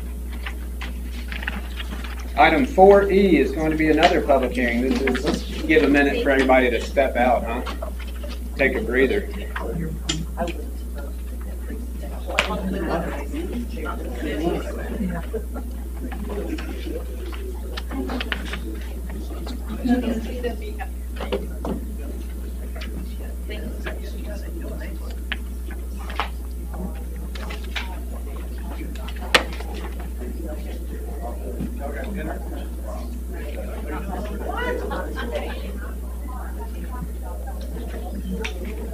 I,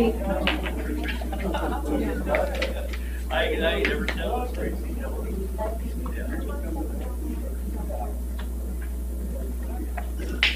All right, that's probably quiet enough. Uh, Item 4E is going to be a public hearing. This is going to be an amendment to the Code of Ordinances for the City of Ocean Springs, amending Appendix D, Article 5, Section 510, Item B10.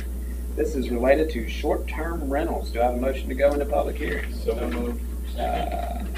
Ooh, that's, that's interesting. I'm gonna give Marshall the motion and uh, Joe the second. All right.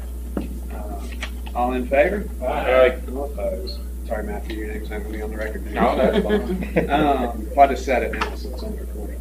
All right, so this is gonna be Wade or Carolyn? I got this one. Carolyn. I'm You done. get the fun stuff, huh? I'm done for the evening, thank you. You going home? No, he's not. Um, uh, this was discussed actually at either the last meeting, I believe, um, and we, I did talk to the board as far as getting their direction to bring this to you. So what you have in front of you is a draft to, to change in the ordinance in the section that uh, Andy so so eloquently um, read to you. Uh, to increase the cap. Right now, we have a cap of 50 residentially zoned short-term rentals. No, this does not include the commercially zoned properties um, of 50. And the proposal, based on discussions between both this commission and with the board, uh, we're proposing 75 uh, as the new cap. Like I said, right now, we have met the cap of 50. We do have 50 active permits. There are up to 11 uh, applications now on the waiting list in various phases of and stages of review. So um, there, like there is a waiting list and, and a demand for those uh, short-term rental permits. So it doesn't change anything else about the regs and requirements and process. It just would increase the cap citywide for residential short-term rentals only. And I've kind of got that information uh, in for you. One of the pieces of the conversation had been complaints regarding short-term rentals. And we did confirm that there have been zero complaints registered either through police department or building um, code enforcement directly related to the use of the property as a short-term rental. Any of the complaints or uh, calls that were made either from or about the property were medical calls, usually from, mostly from uh, one particular property and the property owner when there was a, an aging uh, family member and people calling about noise or other things emanating from outside the short-term rentals. So uh, we did confirm that there were no complaints on the properties that have been permitted to date. And outside, not like they were hanging out on the front porch. Right, right. No, is you know if there Not was related to. right the, a homeless person person walking down the street and the call came from or re, or referenced this address. So, but there was no direct link between uh, the person who was occupying the property as a short-term renter uh, for any of the active permits. Um, in in the and that's for the entire three plus years that we've been doing short-term rentals, uh, looking all the way back. So just to kind of share that with you. So that's what's in front of you is to um, the- proposal as discussed to raise the cap to 75, or if there's a number num- another number that you all wanted to propose. Um, but that was kind of the consensus that I received from you all at the last discussion. Okay. Uh, anything before we open the public? I have a quick question. This is a probably typo, but on the Probably. considerations, current ordinance, second line, it's got shall not exceed thirty-five parentheses fifty. Yeah, that's what happens when you use an old memo. Um, it had been 35 originally, and it was raised to 50. So when it was when the short-term rental ordinance was originally So it should be parentheses created, 35 or- so actually it should be right now it says 50. The current number is 50. The current number is 50. I just used a That's use the verbiage from an old memo. Thank you, thank you for approving that. Anybody have any other things before? I mean, we're in a public hearing. I'll call it. Did the Board of Aldermen just make a recommendation to? They basically directed me to go ahead and work on this, you know, to, to start the process. I just wanted to get their, their input prior to, it wasn't like a formal directive during a meeting. I just kind of discussed it with the mayor and, and the alderman and was directed to go ahead and, as staff, to bring this to you. My question is, the first thirty-five started two thousand fifteen and up. Correct. When was the date that we moved it from thirty-five to fifty? December 2019. Yeah, 2019, yeah. So we reached, Were we at, we were, we were at 30. We were very not close. We were weren't like at it, but we were five away. Yeah. And I mean, that I number think we had the fluctuates. Applications that Yeah. were already going to push us over or something. The number fluctuates uh, because people don't renew and then a permit becomes available. So actually 60 properties have been permitted over that time period, but 10 just did not renew and opened up a spot. So we've effectively only seen an increase of 15 over a two-year period. Correct. All right, well, we are in a public hearing. Anybody got anything else before we? I'm just, I'm not going to do for or against because I don't really know what that means in this situation. But if anybody wants to speak about raising the cap on short-term rentals, please do so now. I'm can point and ask everybody. Anybody on short-term rentals once, twice, sold? Okay, do I have a motion? Public hearing. I didn't even have to ask. Kevin, motion to get out. Alan, seconds to get out. All in favor? Aye. All right, we are not in a public hearing. Um, does anybody want to take a stab at a motion or have any other comments to consider? I- I'll just go back to kind of some things I've talked about before, is I just think there should be something besides just permitting and leaving them if they're active. You know, if we have some way to, if we're gonna cap and we're just gonna keep expanding it, if we're managing the ones that are actually being, how many, how many are permitted that people aren't using? And are we allowing them to just keep them year over year, and is that occupying a spot? Well, we don't really, I mean, we can check their, um, their calendar to see if it's blocked out, but that doesn't necessarily, a lot of people will block out time for their own personal use of their property. Um, we really don't monitor how, you know, that, how often it's being used and what the demand is for it. Um, that would really be, uh, I don't know that we have that information available without some sort of legal action. I'm not really sure. Now, if there is a problem, we can always ask for their guest list. That's in the ordinance, but that's usually if there is a problem and they need to find out who was staying there at any particular time. What's So- the fee? Is there, there's a, a fee to have it re-inspected and It's- everything every year, but it's it's, Fifty, fifty dollars and they have, 25 for the yeah. occupancy and then twenty-five for processing. so you could hold a permit at- at the cost of only fifty dollars a year. Yeah, and, and some people do, and some people may only rent it during festivals, and that's fine. But they do still renew every year. They renew, as long as they renew every year, um, I- we really don't monitor the, you know, the success of it, I guess you would say. Um, but that's why I think some people at the beginning thought they were gonna rent it more, or that it was gonna be easier than it was, and they just decided not to do it anymore. Sometimes the properties changed hands, um, but, uh, you know, people found that it wasn't just a, a, an easy buck, that there was work that had to be put into it, and they just decided not to. Now, was your comments in relation to you are against raising it or against just having a cap at all?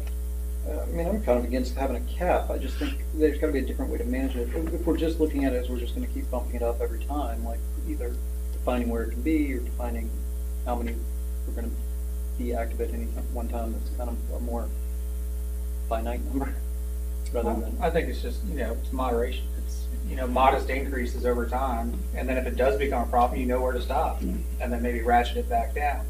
Instead of just opening it up and saying, hey, anybody can do it. that's a good point. From a staff, from a staff Yeah. perspective, we um, appreciate having the cap. It helps, does help us to manage it when, when Amanda's talking to people when they call. It, it kind of lets them know that it, it's not something that we are just going to give to everybody. A, you have to go through a, a process that's not an easy process, and B, they're in demand.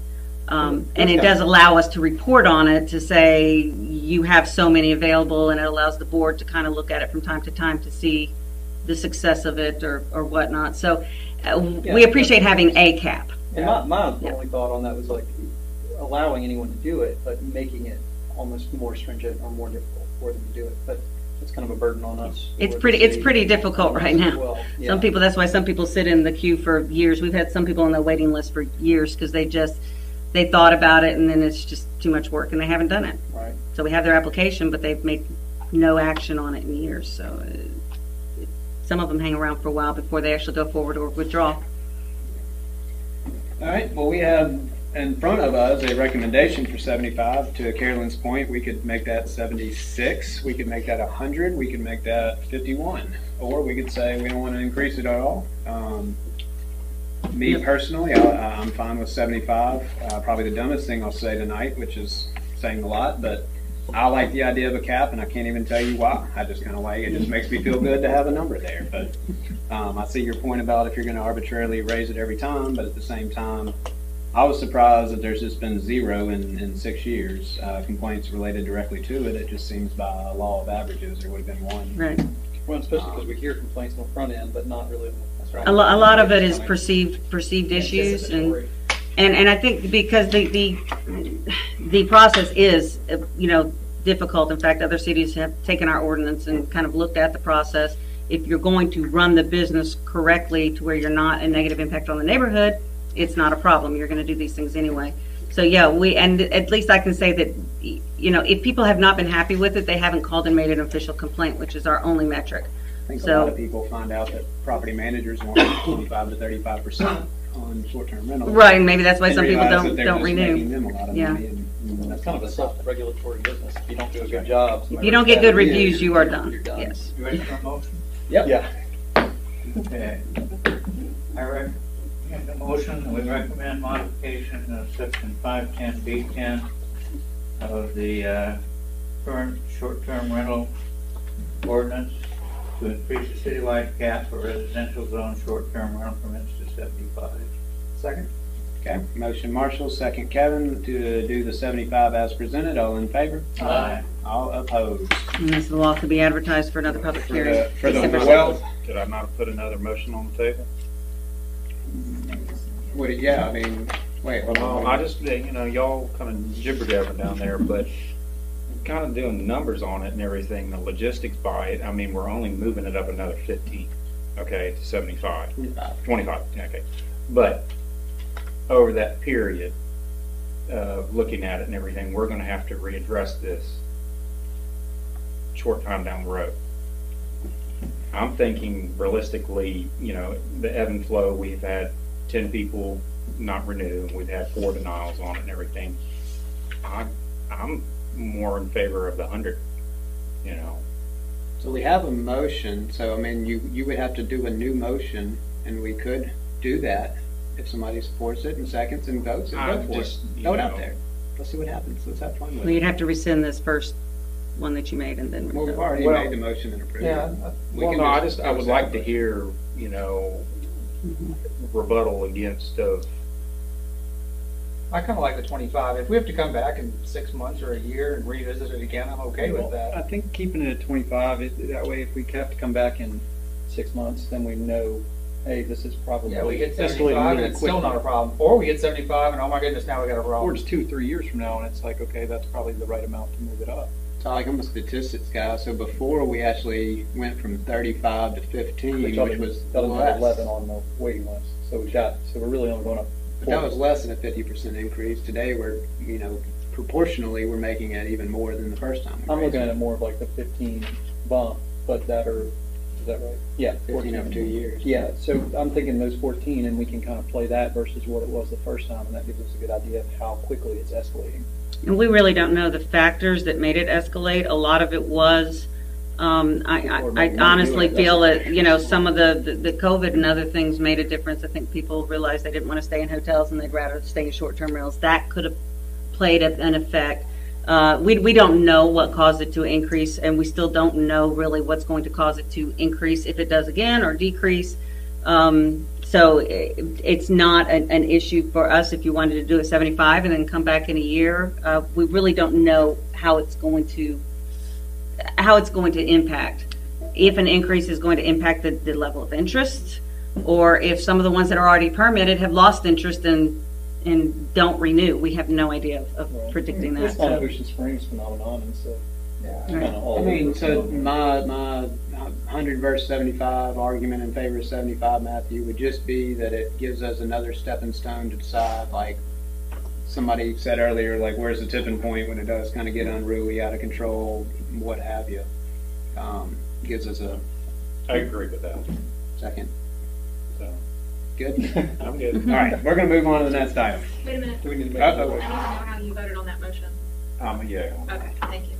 Yeah, I did say unanimous, but I didn't know. Yeah, further Okay. discussion. And so the draft ordinance that is in your packet will be uh, then voted on after the public hearing of the board on December 7th. And for the wealth of audience, yeah, you just said it, December seventh. All right, last, uh, new business, item F, public hearing, adoption of the UDC, an amendment to the code of ordinances for the U, uh, City of Ocean Springs, Mississippi, consolidating and updating the zoning and development regulations. Um, a motion to go to public hearing. Where did mine vote? So moved. I got a motion Kevin, second Marshall, all in favor? Aye. All opposed, nay? No, I'm just kidding. Um, go ahead, Karen. Okay, so um, essentially, the purpose of this is to readopt the UDC. There's no changes to the original UDC except for the ones that I'll discuss in a minute uh, for the RM1 reversion to R1A. Uh, This is presented um, as, um, based on the order from Judge Krebs on the recent lawsuit. Uh, So it's the existing UDC with the reversion. The pages that are provided in your packet are the only ones that changed uh, as a result of the reversion from RM1 back to R1A, so that we didn't have to print out 385 pages for each of you. But those are the only pages that changed, nothing else did change, and the document is available. So there's two different colors. There's the changes made in strike-through fashion in red and in gold. The ones that are done in red are the ones that we did prior to the first advertisement of this, and the ones in gold were based on public input. Um, we have uh, also been working with the complainant in that lawsuit and uh, their attorneys to ensure that we are following Judge Krebs' order and reverting to the, to the best of our ability from RM1 back to R1A. So that's what's in front of you uh, primarily for the readoption Carolyn, can I and the pause you reversion. real quick? Well, you can because I'm, that's it. That was all I had. Oh, I knew that. Stop you, I meant. Um, just to be clear, so we came in today and we have November 7th. I don't remember, it's day the 9th, right? Um, so two days ago, we have a letter from Michael and Julia, and then we also had this. This Mm-hmm. Correct. appears to replace what was in our packet, correct? Yes. I tried to do my best, and it seemed like there was two, There were some minor changes. I Um, mean, just a couple though, right? It wasn't Right, just, just a small page, and primarily the reason it's so many pages is that table, those two tables, the 3.5 for uses, we um, included reference, we had had added a footnote 13, and we just didn't reference it anywhere. So it, it it really is attached to that table, so the column where it takes out R1A and just tells you to see footnotes 12 and 13. So, you know, I got here a few minutes early. We only had 15 minutes or so, but at, at best I could tell, I tried to go to this and go to this, the new letter, the new packet. Correct. Just make sure that the things that don't say agree or what are changed. in Yes, that's accurate? correct. Okay. That's what I wanted to verify. Everybody understand what I was trying to say? I think so. Yeah, the, the, the ones in gold are all follow-up, but there were some additional ones that happened this week with some minor changes. And that's what I was referencing, the coordination, um, with the Alon. So, you know, to make sure that we caught everything, uh, moving the reversion from RM1 back to the previous R1A, which was in a different format, so. And to make it dummy proof for me, when, if, if we vote to approve it, this would be, this plus the parts that aren't reprinted here would be what is, okay, goes to the board. When it, when it's presented to the board, it will have just one set of all the changes compiled, yeah. Correct. One more dummy-proof question for me.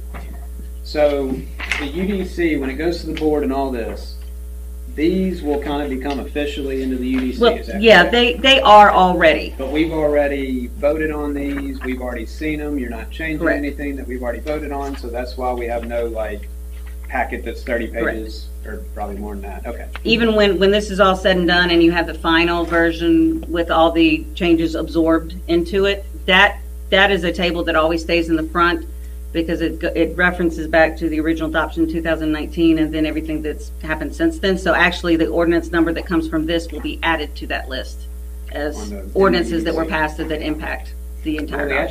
actually, you know, will the actual words of general flood regulations be in the UDC, or just uh, incorporated by reference number? I'll ask you, it really is. Yeah, there's, that, that table is on, is inside on the first page of the, of the UDC document and basically tells you what sections and what were changed by what ordinance at what date. So we're just using R1A to go ahead and incorporate everything Right. else. Really, that's the only change that hasn't come before body is the Hasn't yeah. reversion of R one back to R1A. Okay. All right, um, I do have a question on page twenty. In the packet? Yeah, so the Waterview Preservation District, so this is new, it's going in here, right? Uh, It's in gold, so it's a new one. Well, there were some things that were added back from the old code that specifically relate to now R1A. Okay, So is that, yeah, The, yeah, the gold is new. This is new. right. I think That would be only added. the R1A district.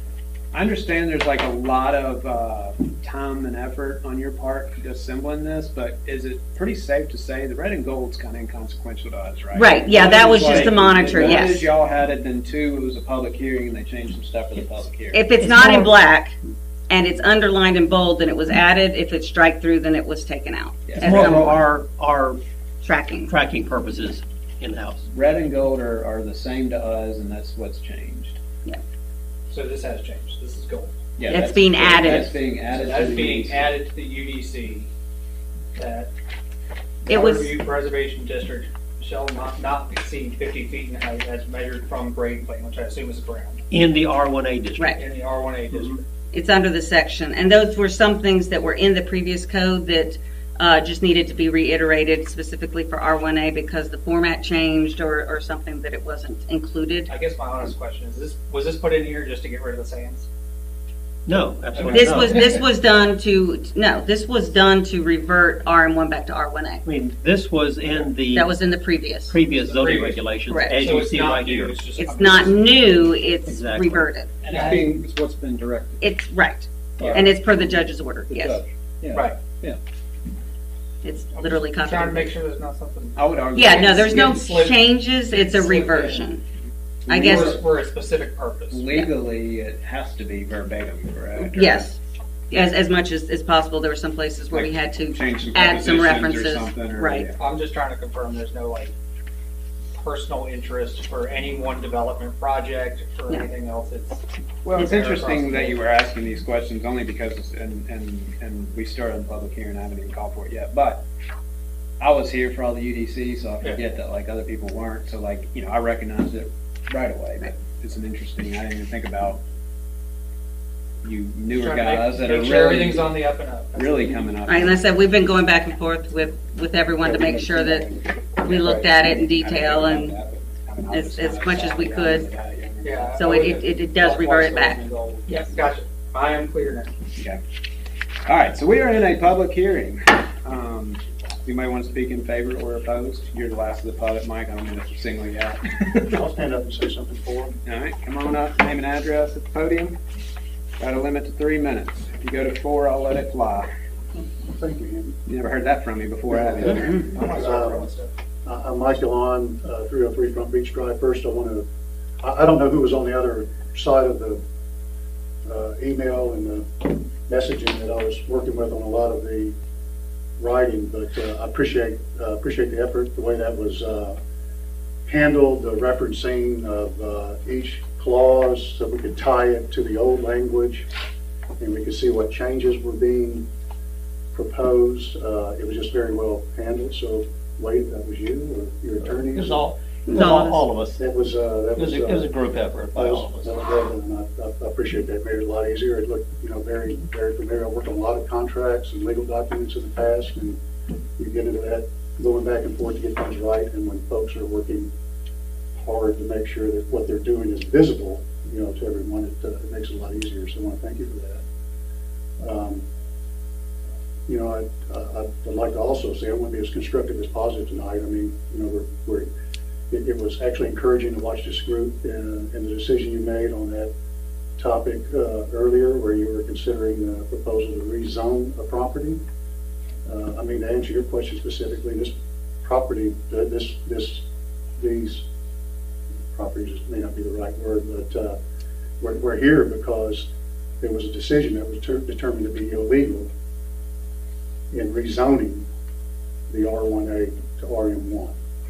And um, uh, that was done without any evidence of changes to neighborhoods, um, without any evidence of there having been a mistake. So that's, that's why we're here. So what we're putting back is what was in place before that decision was made. And, and I'll also point out, and I think Andy's point's an important one, uh, for this group's information, not all of you are here, the staff uh, and the planning commission both voted against the spot zoning or rezoning that was overridden by the Board of Aldermen on a motion by Alderman Authement. So that, that's why we're here. We didn't have to be. But I'm glad we're past it and we're beyond it. And um, uh, just, uh, you know, for future reference, um, the RM1 uh, is really not a good zoning district for velocity zone properties.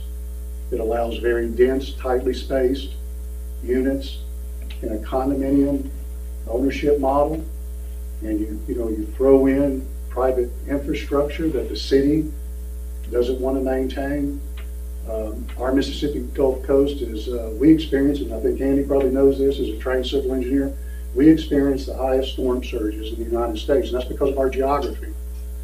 Uh, We have shallow water for a long distance, we have a long uh, distance between our shoreline and deep water, which mitigates uh, storm surges. Let's keep it on topic, Mike. These type of, these type of developments, I am on topics, these type of developments uh, that are in the RM1 uh, don't need to be in the velocity zone. Um, You can imagine what a, uh, a, a big storm surge would do to a property that's uh, developed like that. It would be bad for the city, it would be bad for the people that purchased the property, it would be bad for the community that, that lives around it. So, uh, thank you for your efforts. Uh, um, I appreciate that, and I, and I hope, I would like uh, Carolyn to get a chance of looking at the final document. You know, I know you guys will be, you know, putting that together, and when you have a version that uh, we can look at electronically, uh, just to read through it one more time before it goes to the Board of Aldermen for a vote there, we'd like to do that. Yeah, we'll share it in the same way that we have been. All right. Yeah, I want to say something for the record. I was about to For say. the record, Mike is wrong because I didn't do nothing legal. We've been working on the UDC since before Mike even built the house over there. So he can say what he wants to about that, but we've been, we have worked on that for a long time. Noted. All right, I was actually about to say you are technically part of the public today, so I, I misspoke when I said he was the last one. Didn't get his name and address. I didn't get your name and address. Can you infer? Ricky Authement, 1111 Alphaville. There we go. Um, all right, we've exhausted the public comment because we've exhausted the public. So do I have a motion to close the public hearing? So moved. So moved. Second. Matthew, second. I'm sorry. Is that a second from you? Alan, all in favor? Aye. All opposed. We are out of public hearing and I'll entertain either some discussion or if anybody wants to motion, feel free to do it at your discretion.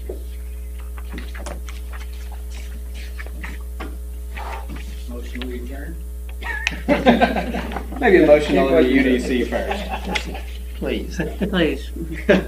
Move on. Let's move on with this. All right, I don't have the depth of experience or history with it, as a lot of you people do, but I'll go for it. Uh, motion to recommend approval of the attached ordinance draft to facilitate readoption of the UDC, including all subsequent approved modifications and reversion of RM1 to the previous R1A requirements. Kind of said it better myself. Motion Kevin, second Marshall, all in favor? Aye. All opposed. Again, this will be re-advertised for December 7th in front of the board. To Mike's point earlier, I guess the re-advertisement, that would be when you have a completed document anyway, so he would get. Right, well, it- it'll go to the paper tomorrow. Basically, I'll just, it- like I said, we've been going back and forth and there's pieces, but there will be a revised memo that just presents it as one set of Yeah. changes.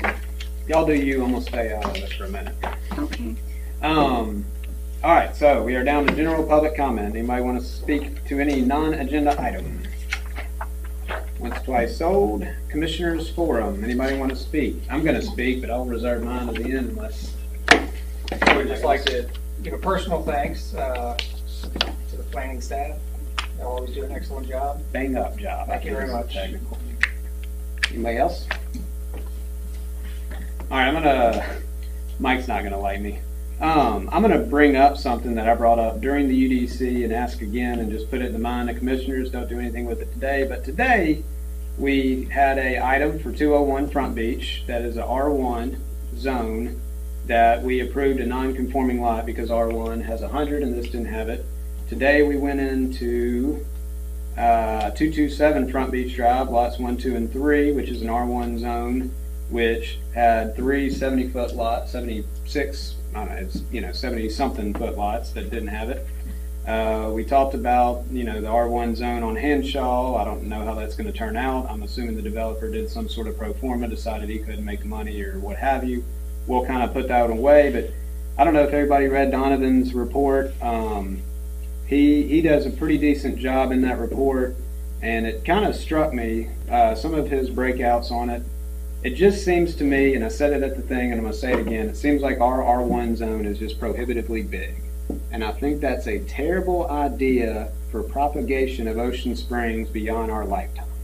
Um, everything you see now, I don't know, Alan, if you can speak to this better than me, but uh, smaller lots are in higher demand than larger lots, kind of in general. A lot of millennial type young adults are, are even going almost to townhomes and everything because of lack of maintenance and everything. I, I didn't see it then, I don't see it now, why the R one has to be thirteen-five and hundred feet wide lots. Um, So y'all just think about that, if anybody agrees with me, let me know, and maybe we'll go back at it, but if y'all like them, then we'll keep them. Well, I hundred percent agree with you. I think, know, we're taking these very general guidelines and trying to make them work in an area that it, it, it doesn't really make sense and what's happening.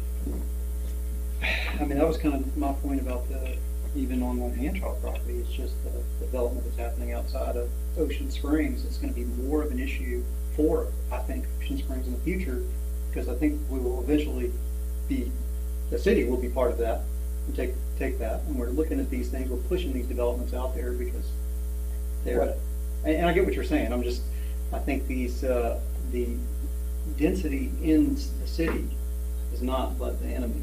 I mean, it's, it's not, and I don't see why everyone fights it. I don't, I don't understand why we can't, you know, why you can't build on historically platted lots, uh, that are in town. If they're you know, already there, I if don't they're think they already should there. even I have to come to us. That's the Well, point. like the one I, I was asking you about the one day about if somebody's owned it since the same, for the same period, or since nineteen eighty-five. Eighty-five, you can't build on a historically platted lot in a subdivision, when there's lots next door to it that are built on those historical platted lots.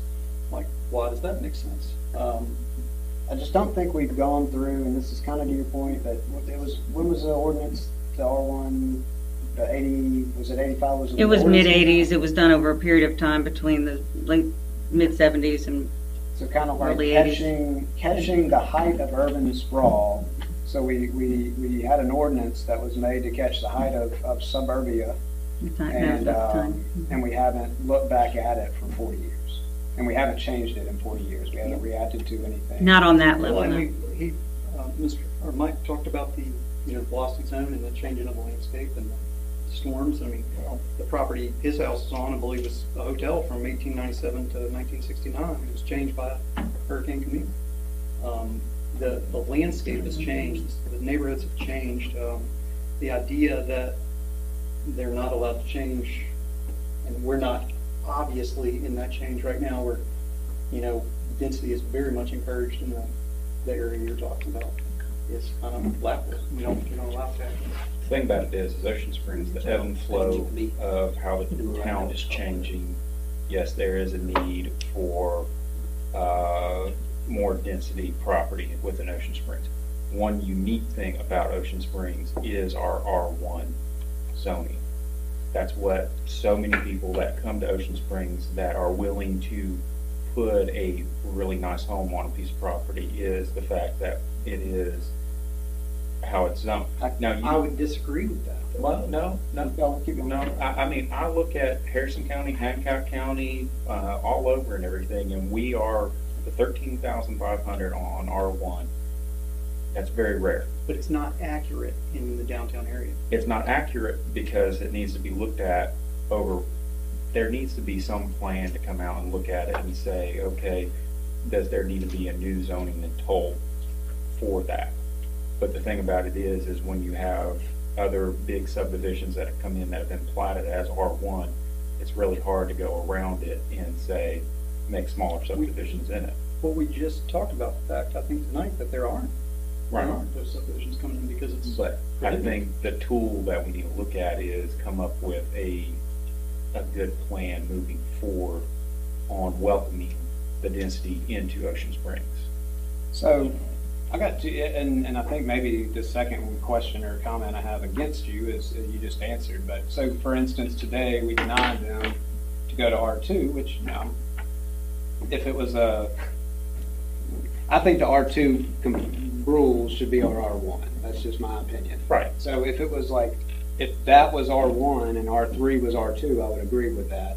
Now, I, you know, well, I guess I voted, but it's different, hold on. So, does the thirteen-five go all the way to east? I mean, is, is East Ocean Springs a thirteen-five neighborhood? Once you cross over, yeah, let's say, just strike it up, once you cross over Hanshaw right there, you start going into more of your R two. Right. Uh, I mean, you look at Gulf Park Estates County and everything, but that is part of Ocean Springs. Let me ask you this, who's buying thirteen-five? And here, here, this is what you, I'm trying to prove my first question. Who's buying the thirteen-five? Who wants to be in those? the thing about it is, you're getting hung up on the whole millennial flip right now. Okay, the kids that were born in the seventies and nineties and everything. Commissioner Gen X. Okay, okay, the Gen X and all, but the thing about it is, there is a turning point that I'm starting to see. People are wanting more of quality and everything within Ocean Springs and all over, okay? Um, looking at what Biloxi has done with their R1 and their densities and everything to what Ocean Springs is. You can't really compare it because of how Ocean Springs is set up. When we have downtown, which is R1, which really should be R2. Should.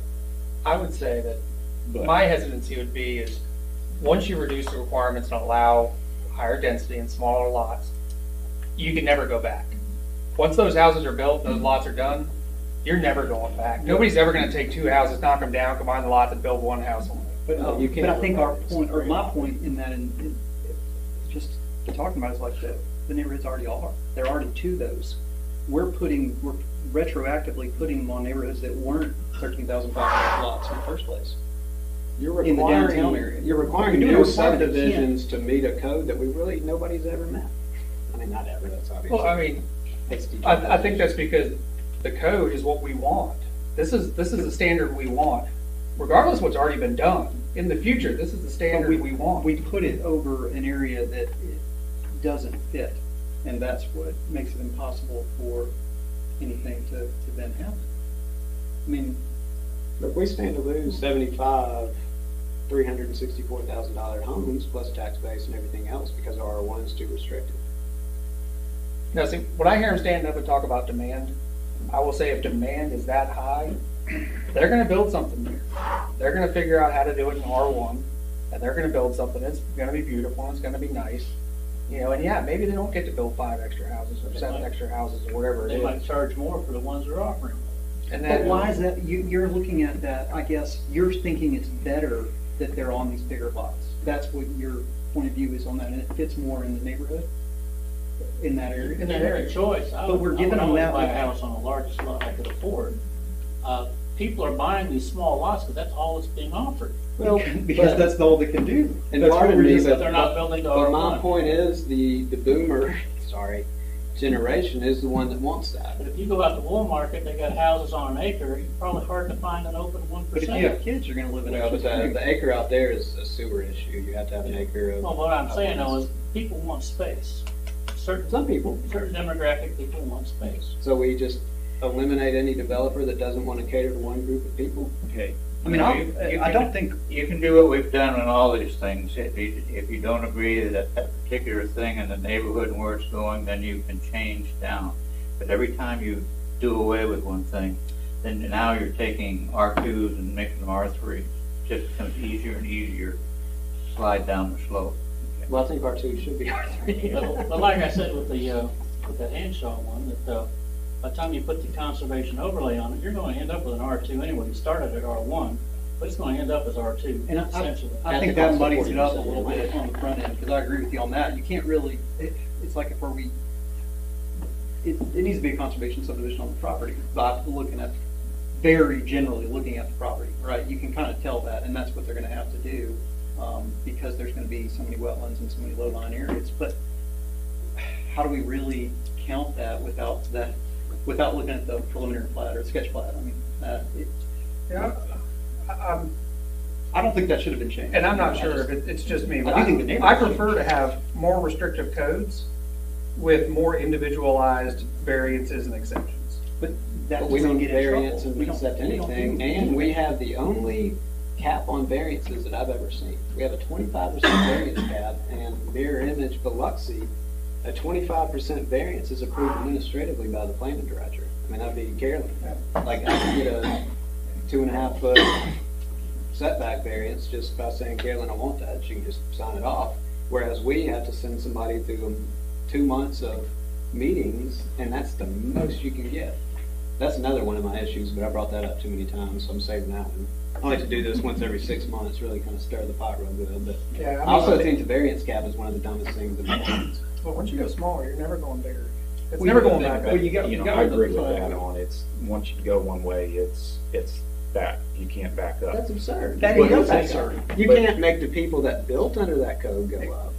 Right, But but you can only we look at developments all over, and everything, but I think something in toll that we're kind of having us, and I think there's some concern and everything. This is a very passionate discussion, okay? I think we all have our thoughts on it and everything. Something that I think we need to do is put a think tank together on something like this and work with the department and everything and maybe moving forward on it. But I think we're kind of getting, the attorney's kind of motioned a couple times that we're getting kind of borderline on, we need to, Well, this is something that we could schedule a workshop on at a future date just for discussion and, you know, um, so we'd be a little more prepared to have some information for you. Um, but, but, It has to be public. It has- yeah, I mean, it would be advertised and available to the public. It would be a work session. But, uh, that would probably be the appropriate, um, vehicle, tool to use to, to kind of suss these things out, to see if there's any recommendations that you all want to make or anything that you would want staff to look into further. Um, but we, we'd be happy to, you know, look at scheduling that probably after the holidays to, uh, We'll revisit it. yeah. Y'all think about it, if you, I mean, if- if I'm the only one that agrees that it's too big, then there's no sense in doing it, so let's just, we'll kill it there, but y'all think about it, we'll talk about it next week and see. I if think we a can good way to schedule look at it is like what percentage of the properties that are actually zoned that and are compliant.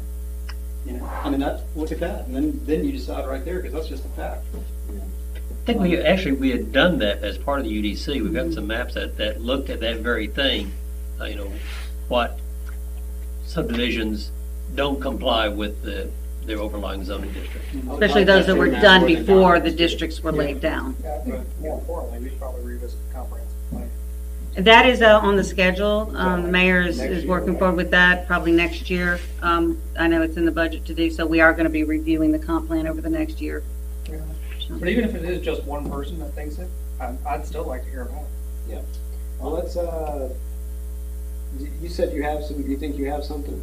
Um, back, yeah, um, I'd have to, pu- to dredge them up and find them, but yeah, we've got some, um, maps of You that. can that find sort. those and just command it. I mean, it was primarily subdivisions that were built before the zoning districts were created and, you know, like there's a lot of, especially in the old, old downtown area, there's a lot of old subdivisions A lot of that, that are a lot smaller than even the zoning So if district. they established it at R one and it was too big, that'd be a mistake in the original zoning. Well, it was, yeah, well, it, that's where you get historically platted legal nonconforming. You know, it was platted prior You can make an argument for anything you want, really. Well, yes, you can't argue about anything, So but. if you can find some maps or some information, get it to Amanda, There let were, Amanda send there it were out. PUDs before the UDC. There's PUDs till twenty fifteen. I think I was, Approximately, yeah. I was on the planning commission. in Stillwater was the last one, And I wasn't here and for the Sweetwater. sketch I was only here for the final. And what were y'all's feelings about this at the time, or why was that? I'm in favor of them. That they, some of them were implemented outside the parameters of what it was intended uh, prior to, you know, in years past. And I think there was just a perceived problem with it, that it was a flawed ordinance and it was voted to rescind it. And that's why the conservation subdivision kind of took the place of that intent, which is to allow the same density but flexible lots. But if, if, um, like tonight, if that property had been tried to be rezoned as a PUD, you know. that- Well, you wouldn't rezone it as a PUD, you would You wouldn't. develop it as So it would a still have to go through the initial, or it would, how would they have done that? Well, there, there's two layers. There's what the zoning district is, and then, like I was explaining, the conservation subdivision uh, overlay, which used to be similar to the PUD as, as an overlay, is just another tool in the toolbox. So if you have have a piece of property like like this one that has a lot of wet areas or potential wetlands on it, it doesn't change the density. The zoning establishes the density, but this would allow you to make some smaller lots and move them out of the way. You can change what you want. Right, inside so it's, uh, the, the overlay is a development tool, not a zoning tool. You don't zone it as a conservation overlay, you develop it as I one, if that makes I don't like sense. things getting muddled up as like project versus property. It- And it's- that's what, I find it, that we, we do that all the time. Right. Anytime anybody's doing any property, they're telling us about the projects. Right. Well, and they want to give you an idea of what they intend to do, which, If you had a PUD. But then they can walk out the door and go do something else. Correct. If we give it, that's, that's right. that's why we ask you to look at the worst-case So why scenario, are we because, even letting them talk about the property? But I like a They can PUD present what they because wanna you're not present. really rezoning it. A PUD, he could have kept it R one, but within the parameters of what our PUD ordinance is, so he would not have had to We would have had to it. have seen the project before we. You would have. That's what I mean, that gives us more With a control PUD, you over the would. situation. I like a PUD. It's because he's rezoning it and then doing an overlay. They're two different things. And I think we, I didn't, see, it was already voted out before, I just had the last two projects that were approved on it.